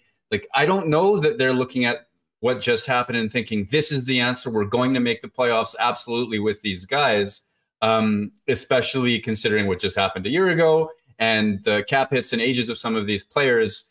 It, it, it's a little bit inefficient. At the same time, like another hypothetical, what if these Jets struggle badly? What if these Jets hit the trade deadline out of the playoff picture once again? At that point, are they not behooved to at least explore the idea of moving Schmidt, moving Dillon, moving DeMello, moving whomever. And is there a chance that by spring of this time, Logan Stanley's looking around and being like, "Wow, yeah, there there used to be a whole bunch of people with more experience than me on this team, and now it's just Josh Morrissey and Neal Pionk and maybe one other player." Like depending on what happens this year, I don't think that's the play. I don't think that's what Winnipeg is doing. But if this very clear bubble area team that might make the playoffs, that you know probably I think odds makers would say probably won't um, without quite a lot of improvement. You know, if they're out of the picture, then maybe they finally do move uh, some of the veterans at the trade deadline. And now all of a sudden, Stanley's a more important player to the team than he was today, which, you know, right now, if you're looking at those guys, he's maybe a little more expendable. Well, I mean, listen, under that scenario, and I, I kind of believe almost, you know, before the trade deadline, we're going to know one way or the other. I mean, which way this team is going. Um, you know, if in the first 25 to 30 games the team isn't improved and they're looking like it's going to be a real uphill battle, um, you, you know, you maybe start having those conversations about the defense, but that's going to be secondary when we're talking because you know once you get around to that trade deadline, it's not going to be about defenseman with two more years on the deal. It's going to be about Scheifele. It's going to be about Pierre Luc Dubois. I mean, those are the guys that have two years left of team control. If you trade them this season, if you believe it's in your best interest to do that, you're trading and getting value for a player that will have two playoff runs in wherever they go. Um, and as I said, I hopefully we're not talking about that. Hopefully we're talking maybe an ad at the playoffs at the uh, trade deadline and this team being playoffs. But I think we, I mean, there's so much uncertainty about what this team is after last year. Um, it will certainly be part of the conversation. And I think that, you know, every game early on in the season will be important to kind of see what this team is capable of and what that does to Kevin Cheveldayoff's position when it comes to adding or subtracting from the current roster.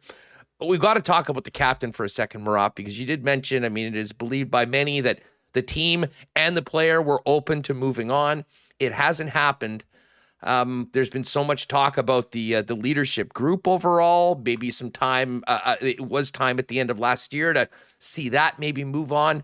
Uh, what do you make of Blake Wheeler's situation coming in? Uh, we haven't heard from him yet. I'll be fascinated to see here, much like we heard from Mark Scheifele when sitting down with Sarah. I'm not sure what the environment will be, whether it will be with Sarah, whether it will be with the uh, the uh, assembled Winnipeg media first. But um, thoughts on Wheeler's situation and how it's very different this year than it maybe has been as the face of the franchise for the better part of the last half decade plus.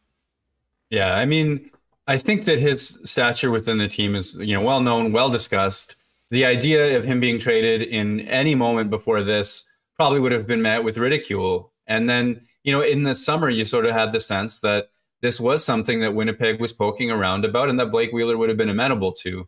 Um, it would probably be, you know, assuming that what we all believe is in fact the truth, and I think that it is, like it would probably be a bit of a gut punch to think, well, wow, at this stage of my career at this stage of salary, um, future considerations or what have you, or the need to eat money is is what's out there. I I don't know that that's how Blake Wheeler would think. Maybe maybe not, but I think that there would be a bit of a gut punch in that. Um, I think that all of this consternation about the leadership group, especially with Paul Stastny signing in Carolina, you know, there's a chance that Blake Wheeler finds himself on a bit of an island as a, you know, as a holdover veteran from, uh, you know, who's been in the league a lot longer than everybody else that might not be as comfortable in this in this situation as uh, in past years. Um, at the same time, he's still a Winnipeg Jet, and you know he still has the captaincy. And even if Rick Bowness does something wild and crazy, like, hey, we're not going to have a captain for a while, we're going to see who the leader is, or, or something to that effect. He's new, he can get away with that sort of stuff.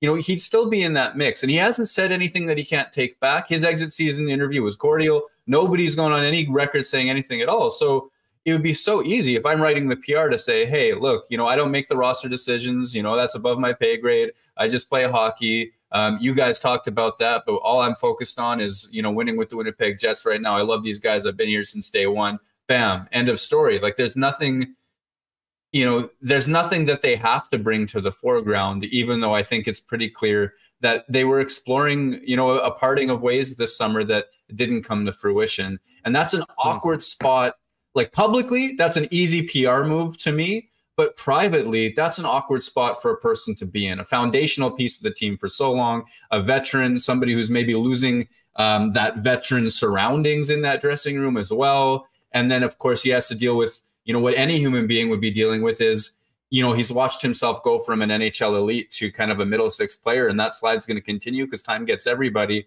there's going to be a lot of a lot of difficult situations facing Blake Wheeler. I think in the next little while. No, to me, it goes one of three ways. I mean, one, they just simply run it back. He's the captain. We're doing this all over again. That's number one. Two was what you brought up: new head coach, new um, new method of determining leadership, and and maybe it's just a matter of taking the time to have that changeover.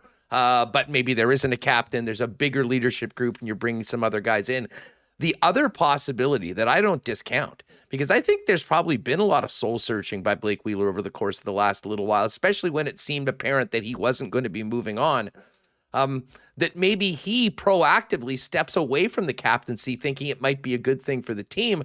Um, so there's that side of things. And then the other bit is that if, listen, Blake's a very proud guy. And listen, I still think that he's played at a very high level. I mean, even last year, I mean, from the knocks that he got earlier on in the season, I mean, you look at what he was able to do by the end of the season, and that's still very productive. It might not be eight and a quarter million productive, but it's still productive.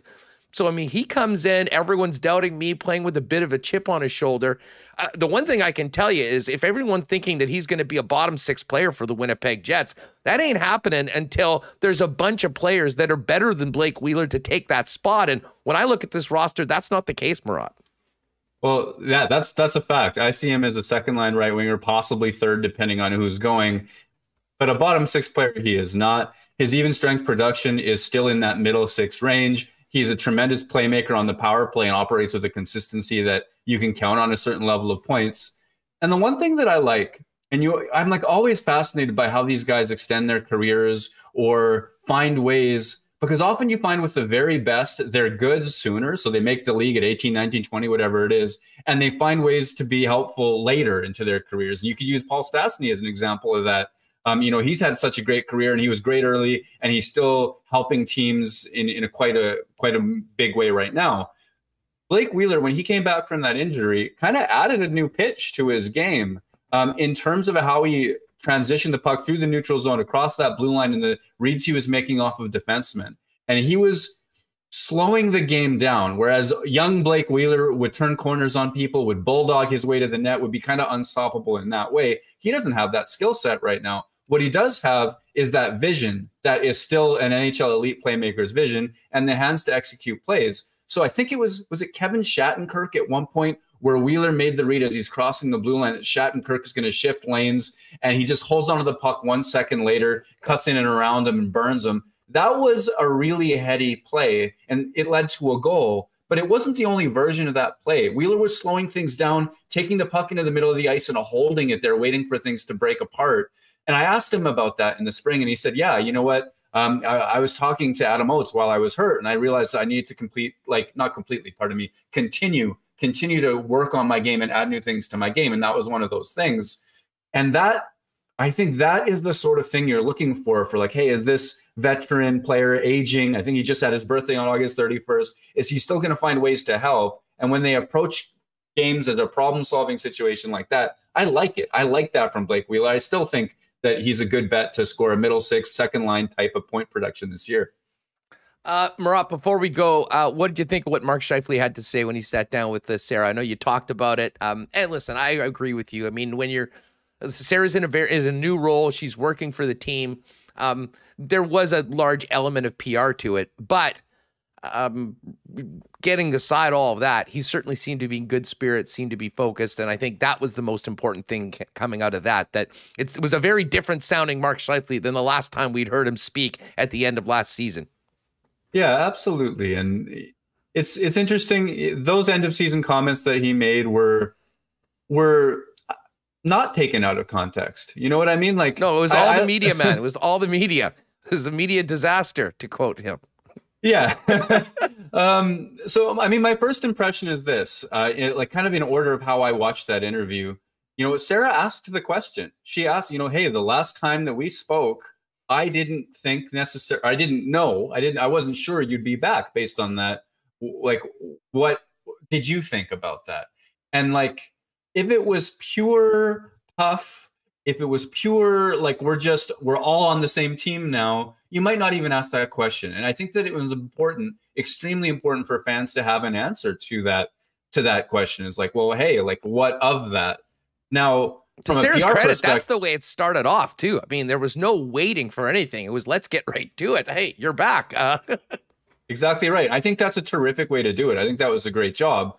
Um, but also, it is you know in a team controlled environment. Sarah's somebody who is loved by everybody. Like media, we all get along with her so she's a wonderful human being. The players feel comfortable around her.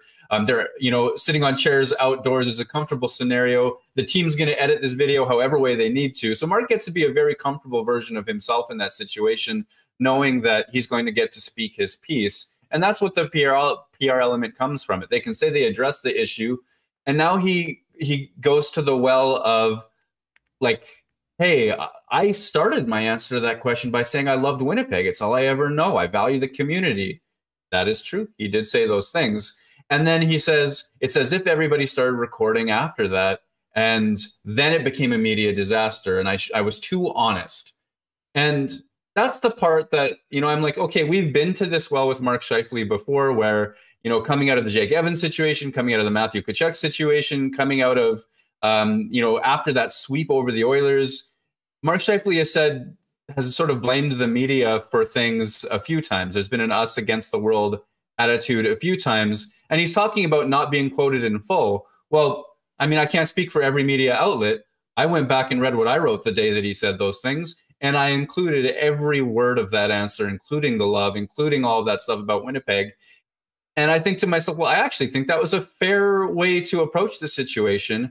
And it's also completely fair, in my opinion, to expect that if you're under contract for two years and any part of your answer at all expresses some concern about your future with the team, then I think everybody in that fan base, everybody in that market has the right to talk about that. That's the story.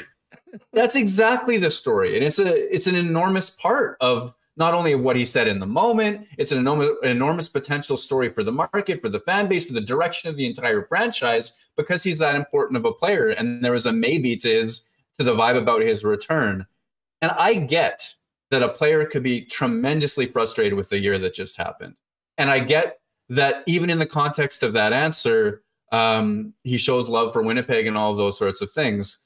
But if it was just a moment of frustration and it was just like a sense of like, hey, I really need to have hard conversations with Kevin Cheveldayoff and all those sorts of things, then maybe in the PR interview in August, you say something like, hey, I was heated in that moment. Of course, I love it here. And he, I like, of course, I love it here. I was just emotional at that time. And you just leave it at that because he did acknowledge he was emotional at that time. But to say that it was somehow like a surprise that this became a big deal to the people who cheer for him or who who like cover that team is I don't know. I didn't like that, but at the same time, I mean, gosh, like what a positive interview, what a what uh like a cheerful disposition he was in, optimistic about the future ahead. And for all of, you know, my nitpicking about how to approach the PR of this situation, he's still an important of that team. Um, and I think that there's many people within the Jets organization who still really believe in him as a person. He's you know he's a well liked guy in a lot of ways. Um, it's just it's just I guess you have to read what I wrote because I'm more articulate, uh, you know, in writing than out loud. It, there's a lot of different angles to look at that from, and mine is, you know, impressed by the PR and a little bit cynical about it as well. Well, you know I mean. You know me. I mean, I want this team to do well. I, I, I, I the first thing that I, I took away from it was that I was I was happy and I was personally excited that he sounded like the old Mark Scheifele. And, you know, hopefully that's the guy we get in training camp and getting this season. The one thing that I had a tough time sort of making sense of was the one thing that we had at the end of his argue uh, at the end of his interview before was that I'm going to need to have some conversations about the direction of the team. And as far as I can tell, we have no idea what the direction of the team, how it's changed from the end of last season, other than we've got Rick Bowness on the bench, and that'll be certainly fascinating to see. But uh, certainly he's going to give us lots to talk about as we get into training camp, the preseason, and uh, of course, we'll be focusing in on the prospects right now. Murat, we went a little long, but thanks so much. We've missed you. Everyone here missed you, and uh, can't wait to do this on the reg as we get into training camp next week and uh, with you throughout the season. Hey, thanks so much. Excuse my preseason form, but we'll be fired up on coffee and all the things. And then, and I just, I can't wait to to be doing this once a week with you again. Yeah, I'm all on board for it. Thank you. Enjoy the action on the weekend, pal. Thanks for doing this. All right, awesome stuff with our good friend Murat Ates. Hit that like button, folks, if you're enjoying the program and Murat's return, and make sure you're subscribed to the channel. Red subscribe button, free, easy, and the freshest WST content to you daily like our visits every week with Murat Ates. All right, um, we've got some news, well, somewhat news to talk about. It's the first time we've had lines or anything to get to. We'll get to that in just a second. And Jackson Jeffcoat to the Winnipeg Blue Bombers in just a few minutes as well here on Winnipeg Sports Talk. Uh, we do want to thank Princess Auto for all their great support of Winnipeg Sports Talk and a big congratulations to Team Jennifer Jones. Um, man, I had so much fun sitting down with Jen and uh, and Mackenzie Zacharias out of Princess Auto a couple weeks ago, and uh, they won the Saville Shootout, second tourney of the year. They're in the win uh, column, beating the Homan Rink in the finals. So a great start for them. I know the gang at Princess very excited about that. Of course, Princess Auto is where you'll find the best deals on the most unique assortment of tools and equipment around. Everything you need to complete the projects on your list or start something new is at Princess Auto, two Winnipeg locations, Panet Road, Portage Avenue West, or shop online 24 7, 365. And don't forget the Princess Auto tailgate zone before Bombers Riders coming up on September 30th. Um, our friends at Culligan Water you know, normally we have fun with Ken when he comes on, Kenny Wiebe at Wiebe's World, because Ken is the most well hydrated member of the Winnipeg media. But uh, we should all be as hydrated as Ken. Uh, and mm, heck of a lot easier to do that with the great products and services from the experts at Culligan Water, celebrating over 65 years in business as the go to folks for all things water here in Winnipeg for your home, your cottage, or your business.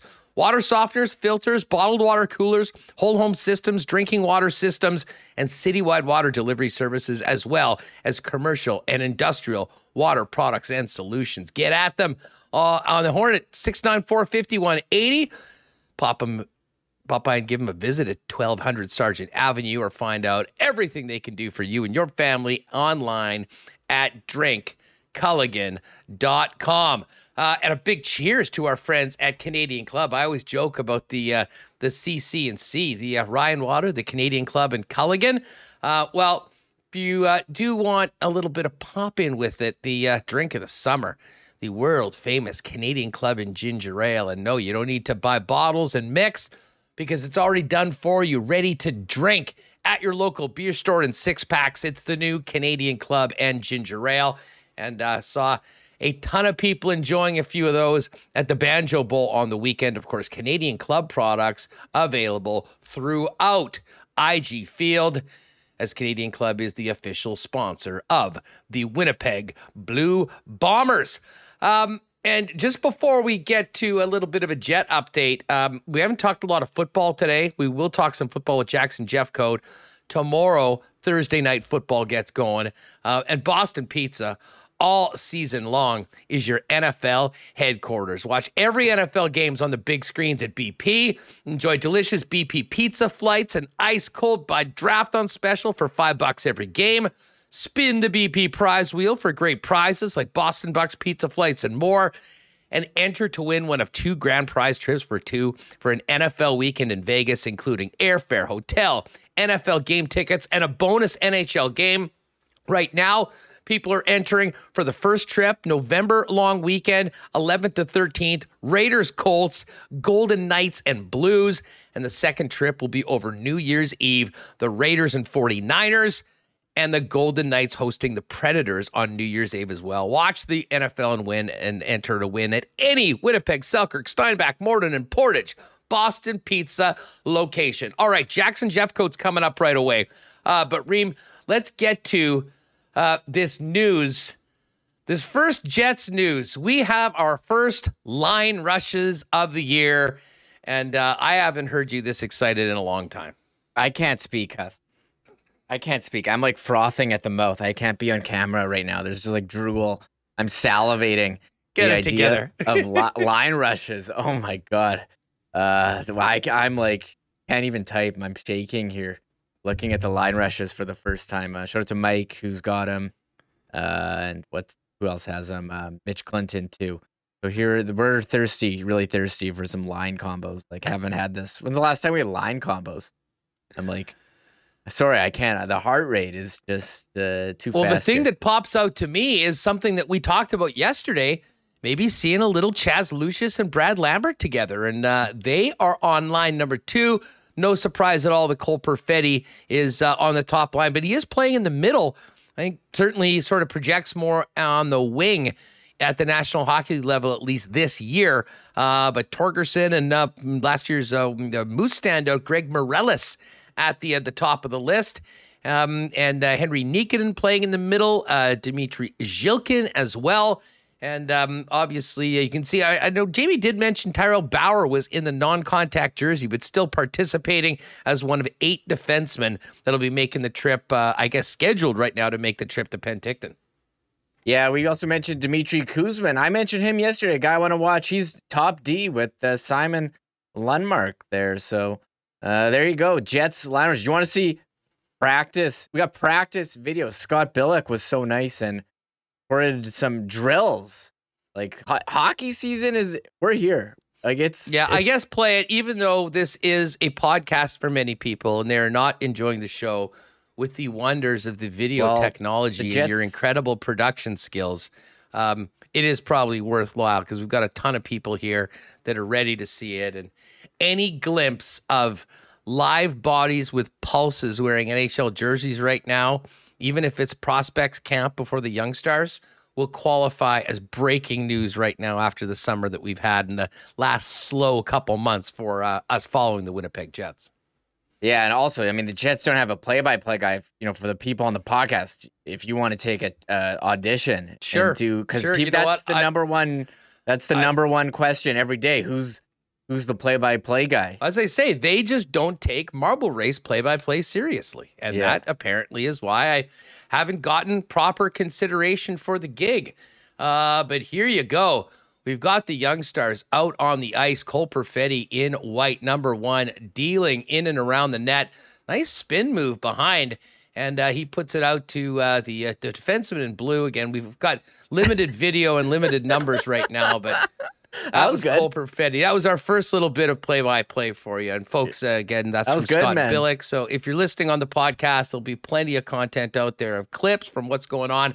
And I got to give a shout out to my pal Riley, Mr. Spills, who is now out in the Kelowna area. He's going to be taking in at least one or two of the games and um, going to fire some photos back to us, which we'll have for you on Winnipeg Sports Talk over the uh, next little bit. All right. Um, hey, uh, let's uh, get to Jackson Jeffcoat. I know there's a lot of folks that are that are big fans of Jackson, huge fans of the Bombers, and um, he's just one of the most uh, nice, quiet, which is funny for a monster defensive end we see on the football field. Uh, he's also a dog owner, and I'll give you a little tease. I caught up with Jackson after yesterday's show, and uh, there may or may not be a dog appearance at the end of the program. So uh, let's get to it. Jackson Jeffcoat to the Winnipeg Blue Bombers as they get ready for the Ticats on the road Saturday afternoon after sweeping the Labor Day Classic and the Banjo Bowl against the Riders. Jackson, thanks so much for doing this. It's great to have you on the show again. Good to be back on. Good to be back on. I'm excited to chat with you. How you uh how you feeling after that big win on Saturday? I'm feeling good. Uh, you know how they say 24 hour rule. So now on the Hamilton, and uh, I'm excited about them. I like the, playing in Hamilton. Well, absolutely. I mean, uh, uh, we do have to quickly talk about these last couple of games against the Riders. I mean, two very different games. Uh, uh, and, and, you know, maybe go back to the Labor Day Classic from a defensive perspective that was not the way I'm sure you guys wanted to to start. I mean, a touchdown right off the bat, and uh, you know you held in and held them to a couple field goals in key points to not get too far behind, and then everything switched up in the second quarter. And then the second half was sort of that bomber defense we've been become so accustomed to, allowing only one point. When you look back at that game on the road, how did you think you and your particularly the defensive group sort of evolved through the game to help you guys get the win? I think we just started figuring out what they were trying to do. Uh, that was the biggest thing. We looked at the film we were watching. Uh, we okay, they're just trying to run this, and decided uh, like we're not going to let them get what they want to do, with what they want to get. We're going to make sure that we stop them and impose our will on them as a defense. How um do you guys look at film at halftime? Like you know when something like that happens, like is there what happens? We have an iPad that you're able to look at some of the plays uh, from a from a far view. So you watch the plays and see what what teams are doing. Coach will come in at halftime and talk to us, try to make adjustments and whatnot. At a certain point, though, I imagine it's a lot of execution. I mean, especially when you're going back to back against a team. I mean, you know, there are probably some things you could do better. And uh, the one thing that this defense consistently does is exactly that when you need it. And I mean, it was a really strong half of football in Regina, um, you know, against a team and a, quarter, a quarterback that was playing quite well. And yet only one point on the board in the second half. For sure. For sure. Yeah. It's, uh, I think it's like you said, it's a lot of execution. We got to make sure that we we stick to our X's and O's and do what Richie, what what his game plan. I mean, that's important. Richie calls a good game, and we just have to execute. Hey, you know, we talk so much, uh, and deservedly so, about Mike O'Shea, everything that he's created with this team, the the the, the identity of the Winnipeg Blue Bombers as a team. Uh, but you mentioned Richie Hall. He's been here for a while and has been a huge part. Um, well, what do people maybe would they like to know about Richie Hall and how important he has been to the success of the Bombers defense in your mind, Jackson? Well, Rich is just uh he's extremely smart. He's played the game.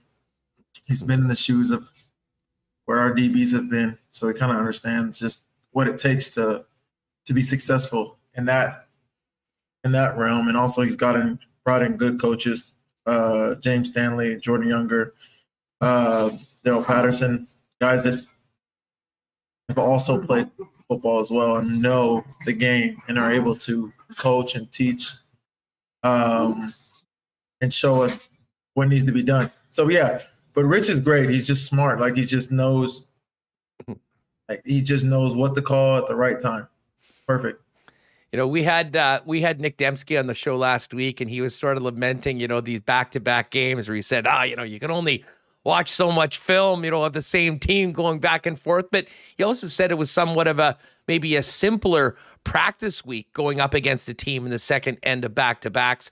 Uh, all that being said, you guys knew that what the job was going into Saturday, and uh, man, that was a full team performance all around, uh, putting up 50 and uh, having a big game on the defensive side of the football. I mean, uh, been around here for a while. I, I got to tell you, from a from a fan standpoint, the atmosphere in that game before the game, during was, I think, is as good as it's ever been.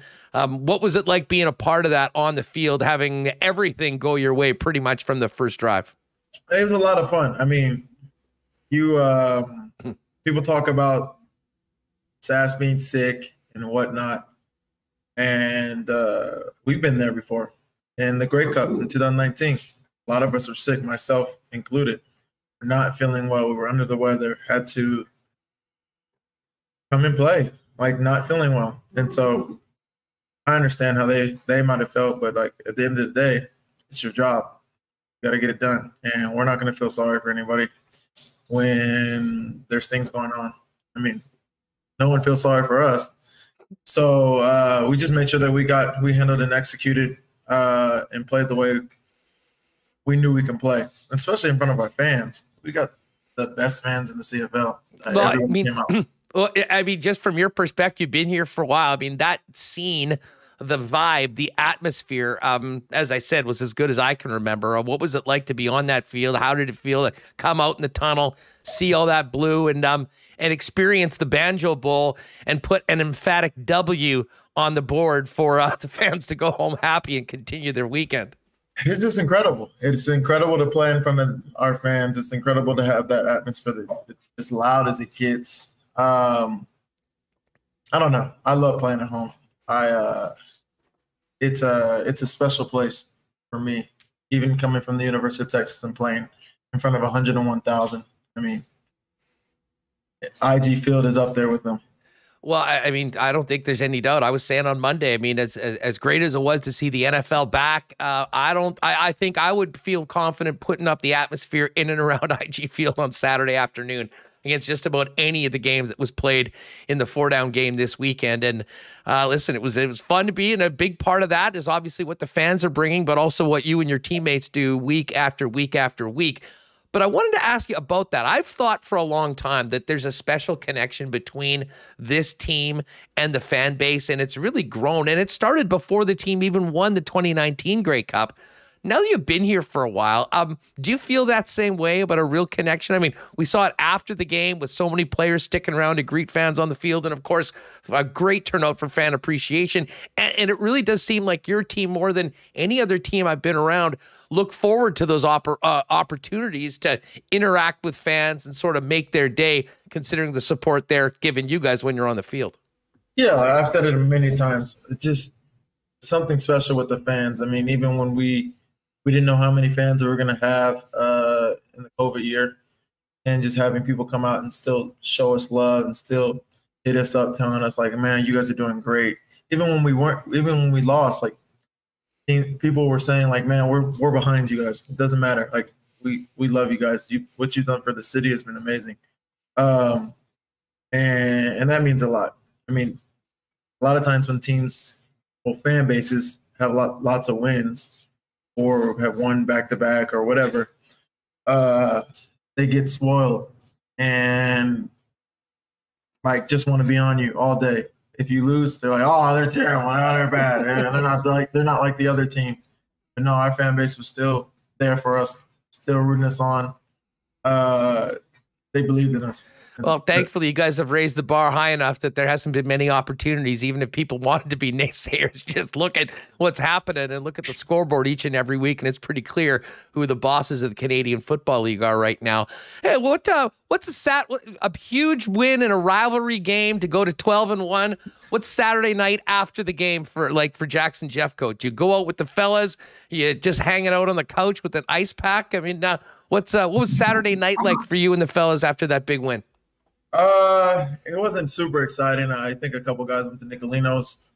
Uh, they got some pizza, whatnot. Some of us just hang out in the stadium for a little bit together. Um, I'm a little. I was a little boring. I have two puppies here at home, so I uh, I came back, uh, ate a little bit of food, hung out with them. I don't even remember what else I did. I just relaxed. Uh, normally I'm suit. I'm too exhausted to do anything. Uh, but it was a it was nice. It was relaxing. Uh, I'm not a big go out guy. I'm 31 years old now, so been there, go. done that. Just yeah, want to get ready for the that. next game. Well, you don't want a serious note, I mean, we spend so much time talking about what the practice. We know when you guys are out there, but for the couple days after a game when you guys are off? I mean, are you back in the facility uh, getting treatment and whatnot, or is it just a great opportunity to? Uh, and obviously, you did have the fan appreciation day, so that was something the guys took part in. But more often than not, would you be horizontal doing what many fans are doing maybe the day after the game, and that's just resting and recuperating? Yeah, I think that's a big thing for me. Um, I just like to relax. I like to get my body right because I want to be ready for the next week. I mean, this this is my job. So, uh, and we don't get to play this game very long. So I want to make sure that I'm I'm doing everything I can to to be the best possible. Uh, I think uh, celebrating, partying, all that, I can do that when I'm done. Like, yeah, I celebrate a win, but I uh, I try to do what's best for my body. Well, you mentioned the next one. The next one is Saturday afternoon in Hamilton, a place where I'm sure you've got some fond memories of, considering the uh, the last trip out there. But um, I mean, you've played this team in the last two Grey Cup matchups with everything on the line. Um, you know, you don't see the East teams as much, but is it uh, is a little special, or does it bring you guys back to the some of the biggest games you've ever played, going up against a Hamilton team that doesn't have the record that we're used to from the last two seasons? Mm-hmm. This this Hamilton team is still good. They're still a good team. They just had some things go wrong with quarterback and just injuries. Uh, kind of like us having injuries. Um, so it, it's uh like I said, I like playing in Hamilton. They have a good atmosphere. They got great fans. They're loud. It's a fun place to play. Uh, and this team is physical, so it's a fun challenge for us to go against another physical team and Hey. uh, continue playing the game we love. Jackson Jeffcoat's with us from the Winnipeg Blue Bombers. Speaking of injuries, some great news on that front is uh, your guy BA Brandon Alexander back practicing with the ones today. Um, how big of a part of the team is he, and has he been even without playing so far this season? And how much will he bring to the lineup when he's able to uh, suit him up again with you guys? Um, he's, BA is special. He's a special guy, special player, special friend to me. Uh, I'm excited to have him back. He's a leader back there in the secondary. Um, we uh, we desperately desperately needed our our our center guy, our safety in the in the back, just to be able to to help out and discourage people from throwing it down the middle. Um, he's a he just he gets things done. I mean, he uh he's gonna come out and play well. He'll do well. He's got a special energy level too. It seems. I mean, e- even away. I mean, you see him in the middle of winter doing a, a a fan engagement thing. I mean, he comes with a special level of energy. I imagine that is never more apparent when you're outside in between the white lines. Oh, definitely, definitely. He does it for special energy. He's a special person. He's just uh he's genuine. He's a real person. He you you anybody can talk to him. Not, I don't know if he has a mean bone in his body. As much as people want to say like, oh, he's trying to hit people like that, he did that. No, he just he just plays football the way it's meant to be played, and that's hard. Well, uh, that uh, goes for uh, pretty much everyone wearing that jersey right now. Saturday afternoon in Hamilton, three o'clock start here in Winnipeg. We'll uh, all be watching here at home, and then looking forward to another game against Saskatchewan the following week here at home. Jackson, before we go, um, Greg Ellingson was on with us, and we got to meet Zeus, his dog. Uh, Piper seems to me make appearances every time Mike McIntyre's there. Uh, are you are are the new members of the Jackson Jeffcoat household around? Would you like to show off the pups to uh, fans of the blue and gold? They're not new members. I just call them puppies. They're not puppies, but they're. I don't know if you can even hear them. They've been playing around this whole time. Come here. yeah, well, we knew that they were somewhat around in the uh, in the building. So give us a little introduction to uh, to Team Jeffcoat. This is Nala.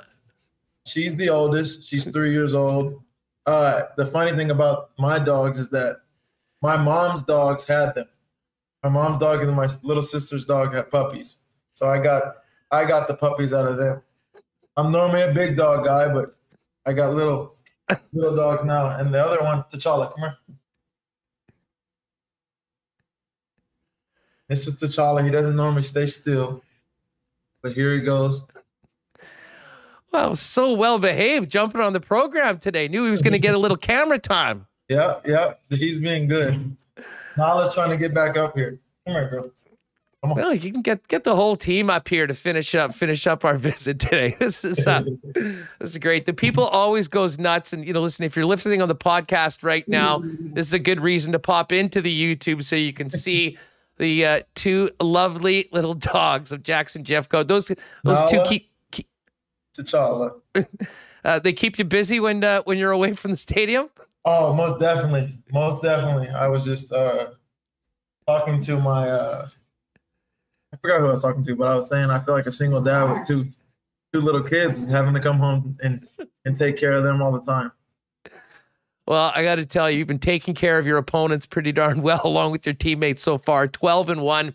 Can't wait for the game on Saturday, and can't wait to, wait to see what this team's capable of throughout the regular season, and hopefully on a, another playoff run, ending the way the last two went. For sure. We got to get it done. We got to keep it going. We're not done yet. Jackson, all the best, continued success, man. Be well, and thanks for doing this. We'll talk to you soon. Hey, my pleasure. Appreciate you. All right, man, that was fun. Jackson Jeffcoat is the best uh, on the field, and honestly, one of the most eloquent, well-spoken athletes we've had on the show ever. So much fun, and I knew you all would love the dogs. Uh, Remis, is that the first double dog visit we've ever had on WST? Uh, it's possible. I'm trying to think if we've had a double dog before. I think John Rush was he just one dog? I'm trying to think Mm. of uh, of the dogs we've had. Um, Ellingson had a dog. Well, Mike, Mike, I think may have had two at one point. Piper and the other one. yeah, Ellingson just had Big Zeus. Big Zeus was as big as about three dogs. So I got. I've been do- meaning to do this. I got to make like a montage of all the dog visits we have. I know Rowicki had his dog. I don't remember when, but there was a dog. Uh, and I yeah, think I'm like, sure there's some people that are listening right now will remember some dogs that we're forgetting over the Mhm. 300 and however many shows we've done. So in the comments uh, and in the chat, and if you're watching afterwards, yes, give some love in the comments to Murat, Jackson, and JT. Great guest today and a real great show. Uh, you know what dogs love too is ice cream, like people. I know Nick and Nicky will often have little cones for the uh, for the dogs when they pop by one of the Nick and Nicky DQs. Uh, but for kids and adults alike, it is always blizzard time at Nick and Nicky DQ. Not to mention some amazing food items, including the stack burgers, amazing chicken fingers. Get the ones tossed in barbecue, my personal favorite, and so much more. Uh, pop by and support our great sponsors, Nick and Nicky DQ. Four locations DQ Niverville, DQ Northgate, DQ Polo Park, and DQ St. Anne's. And you can also get at them on Instagram at DQ Manitoba if you want to get a custom cake order in from the comfort of your own home to pick up quick and easy at any of the four Nick and Nicky DQ locations. Always cheers in our friends at Little Brown Jug. And again, thanks to everyone that came out a couple weeks ago for our first ever Winnipeg Sports Talk Sports Trivia Night. What a blast that was and a great success filling the place. Uh, but if you haven't had a chance to pop by there on William Avenue, the new patio is absolutely gorgeous. And it looks like we're going to have, not particularly today, but going into next week, some abnormally warm weather for September. So, still a great time to check it out while the sun is shining. In the meantime, you can get all the delicious Little Brown Jug beers and merchandise down at the brewery and tap room on William Avenue. And you can get the great taste of Little Brown Jug throughout the city at your favorite beer store. And you can also order online at littlebrownjug.ca. And uh, let's get to it. Big night at Assiniboia Downs coming up. Uh, I had a well, I had an okay night last night. We we, we won on uh, what was was it King Wit last night that we were on? Remo it's one of the Wit horses that I always Um, blindly bet because they're always good. We won on Get Wit Gone, I want to say, and I'm checking now. Get Wit Gone was the Get winner. Get Wit gone. Was didn't pay a lot, it, but Now, it- he ended up being quite the favorite for the uh, for the event. Um, anyways, one more day of live racing left, and uh, t- this week five more on the calendar. So make sure to get out there next couple of weeks while you can. Uh, Remo, what are you dropping for today's live racing card at the Downs? okay, I got to remember my picks here. Hold on, I got to br- bring them up. I know who I took. I took my favorite horse. Uh, I've won with him before. Great name. Sorry, I, it's it's really slow. I took really slow, obviously. um, and I took him to win, but I also took uh, really slow King Wit Quinella to finish first, second in any order. Uh, that is on my on my card. Sorry, I don't have it my list here. One took open. That so that's two five dollar bets right there. Uh, trying to remember the other ones. Apologies. race really number just- two. Race I really number dropped two. the ball here. I, I had on- all Jackson Jeff coding for you to get get these up on the screen. I messed up. Race Um, number two, I'm on Mia Bear. That is uh, sort of a little chalkier favorite, but Mia Bear has been very good. Kim's Texas Bling, I thought about it, but I think Okay. Mia Bear is the That's pick in fine. race number two. That's funny. I have the Mia Bear, Kim's, Texas Bling, Quinella. Seems kind of chalky, but uh, I'm into that one. And I also have race three to win. I am selecting. Oh yeah, not a horse, but I'm I'm picking a snake to win. A Cuban Cobra. They're gonna put this snake in the gate. It's gonna Snake sli- versus horse tonight Yeah. at Assiniboia go- Downs. It's I'm gonna for it. slither all the way around. Cuban, Cuban Cobra. I didn't know that you could put a a snake uh, racing. I actually thought it sounded more like a a wrestler, professional wrestler, than a horse. Cuban Cobra, but uh, I'm taking that one. And there's one more pick I have as I pull it up. Uh, race four. I am taking horse one to win, and it is Oh no, really slow. Sorry, that's really slow. I don't know. I le- I, le- I have one more pick. I can't read my own damn picks. No, no, I said them all. I Yeah. said Cuban Cobra, the Mia Bear, uh, Quinella, really slow, and really slow King Wit Quinella. Those are my four picks. I'm My bad. surprised you didn't go in your other favorite horse, Trump Um, back in it today. Trump Nine Um doesn't win. Favorite I early. I, said to know it's funny. Trump, it, it's true. We There's- thought about it before. No, not anymore. Yeah. So I've got Mia Bear in race number two. In race number seven, uh, uh, of course, I'm going with Wit Nine, horse number four, and uh, or sorry, in race seven, we've got Aniar. Excuse me, Aniar, twelve to one. That is the one I was thinking about. Wit Nine, uh, but I do have two one dollar triactor boxes. Race number four, we've got one, four, and six, which is really slow, King Wit, and Mr. Pickles. Those are great names. Uh, and then in race number six, a one, four, five triactor box, True Kate, Barbie's Quest, and Miami Souvenirs. Uh, if you can't make it out to the track, but you would like to sprinkle a little bit with us, Get to hpibet.com. You can bet on Assiniboia Downs for live racing, as well as tracks around the world. And of course, you can watch it all at AS Downs YouTube channel. Uh, and pay attention, some massive guaranteed payouts coming out before the end of the season. So, uh, nice opportunity to hit a big one. Let's get to the Coolbet lines today for our friends at Coolbet Canada. By the way, was just doing some calculations. Normally we do the Wednesday lock shop earlier. Dusty had a meeting, so the lock shop today is going to come up in about an hour and a half or so. Um, check my Twitter feed uh, and Dustin Nielsen's Twitter feed for it live, but make sure you're subscribed to the lock shop wherever you're getting podcasts. Uh, my record against the spread for the CFL after an 0-3 and 1 week 1 I'm going to Barry Horowitz myself for a minute, but it has been stellar. I have not had a losing week since week one. And my number, my total for the year, Ream, against the spread now is 32, 22, and 1, Yeah, that's that's which really is pushing 60%. So against the number, that is that is very good. If you want to see what we've got for the games this weekend, join us this afternoon in about 90 minutes. Um, and we've actually had a little bit of line movement since I put the picks in.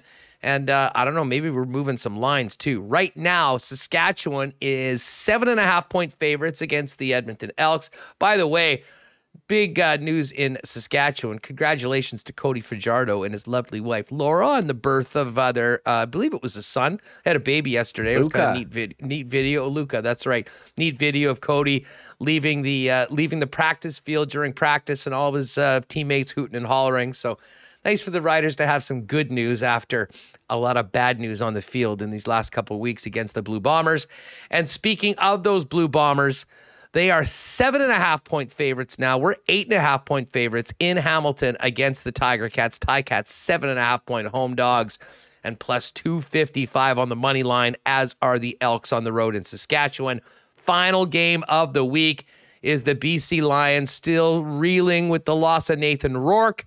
We'll find out whether it's Vernon Adams Jr. getting his first start for the Lions in Calgary against the Stamps. That's a big one in the West, though.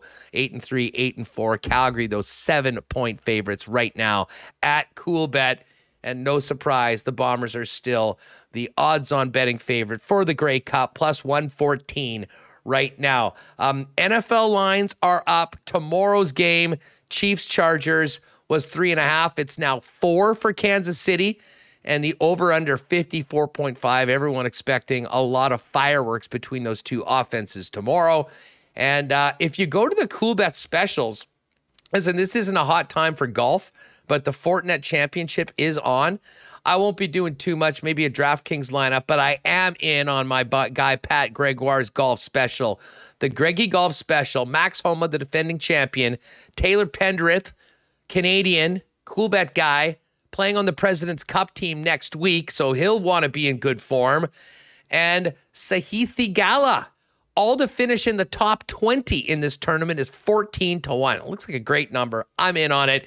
Uh, if you do want to have a random golf bet for the weekend in this Fortinet Championship, may I suggest the Greggy Golf Special in the Coolbet specials. If you haven't played a Coolbet before, use the promo code WST for a 100% bonus on your first deposit up to $200. Um, what a fun show today, Remo. Uh, I was so great. I mean, everyone knows how much I enjoy chatting it up with Murat. It was awesome to have him back on the program. Uh, great to get a little taste of what's going on down at the Iceplex with Jamie Thomas and the one and only Jackson Jeffcoat coming on the show with his dogs at the end of it, which was a big, big hit in the chat for folks that were able to watch it on video. Yeah, it was huge. A couple notes. Uh, Rick Campbell did say earlier this week that Vernon Adams Jr. will start. All right, uh, so we'll see. Vernon Adams Jr. time. The and the other quarterback note in the CFL, Taylor Cornelius, getting a two-year deal with the Elks. Um, so there, and there you go. Those, that's oh, that's interesting. We're gonna have uh, to do a little digging at what's happened on the Hamilton side. Speaking they don't have a quarterback. quarterbacks, speaking Who's of quarterbacks going into this game, they don't. I'll be one. honest. When I saw that eight and a half, and just the way the Bombers have sort of, I mean, they've won these games out east, but I mean, the game in Ottawa was really close. The game in Toronto was really close. Um, I'm not sure the Bombers were going to run away with that. However, if the Ticats get anything close to the quarterbacking that they had in the last week against the Argos, um, that is going to be uh, is going to be ugly. Uh, I will say that. Um, only three games in the Canadian Football League this week, as we mentioned, but the lock shop on the CFL coming up a little later on this week. Um, we still got lots to come this week, everybody, uh, on the program, and thanks to everyone that's come out. Lots of new folks. We've had some big numbers, massive podcast downloads the last few days. So if you haven't already, make sure you're subscribed on the YouTube channel, and if you're watching on YouTube, make sure you subscribe on the podcast. Totally free, of course. And if you can tell a friend about WST, show them how to subscribe and join us daily. Certainly would love to do that. Um, we will talk some CFL, some NFL tomorrow with Mo Khan in Montreal. It's been a minute since we've had Mo on. Can't wait to have him on. He's one of my favorites. And Brandon Rowicki as well uh, with his thoughts on the Jets, prospect camp, upcoming training camp, and more. Tomorrow's Chiefs Chargers as well. We'll certainly hit that and a little bit more on the Winnipeg Jets as they skate tomorrow and then head out to Penticton later on in the afternoon. A busy Friday show. We'll get ready for Bombers Ticats with Ted Wyman, more on the Jets with Ken Wiebe, an NFL notebook with Lee Hacksaw Hamilton. Um, awesome show today, gang. Thanks so much for being with us. Really appreciate Jackson Jeffcoat jumping on, as well as Jamie Thomas and the return of Murat Ates. That's going to do it for us today. We will see you tomorrow, 1 p.m. Central Time, right here on YouTube. And in the afternoon, a little later on, in your podcast feed, just in time for the drive home. Thanks for making WST part of your day. We'll see you tomorrow on Winnipeg Sports Talk Daily. Oh my God! Oh! Shut it down! Let's go home! Thanks for tuning in to Winnipeg Sports Talk Daily. Make sure to subscribe on YouTube and your favorite podcast feed at winnipegsportstalk.com.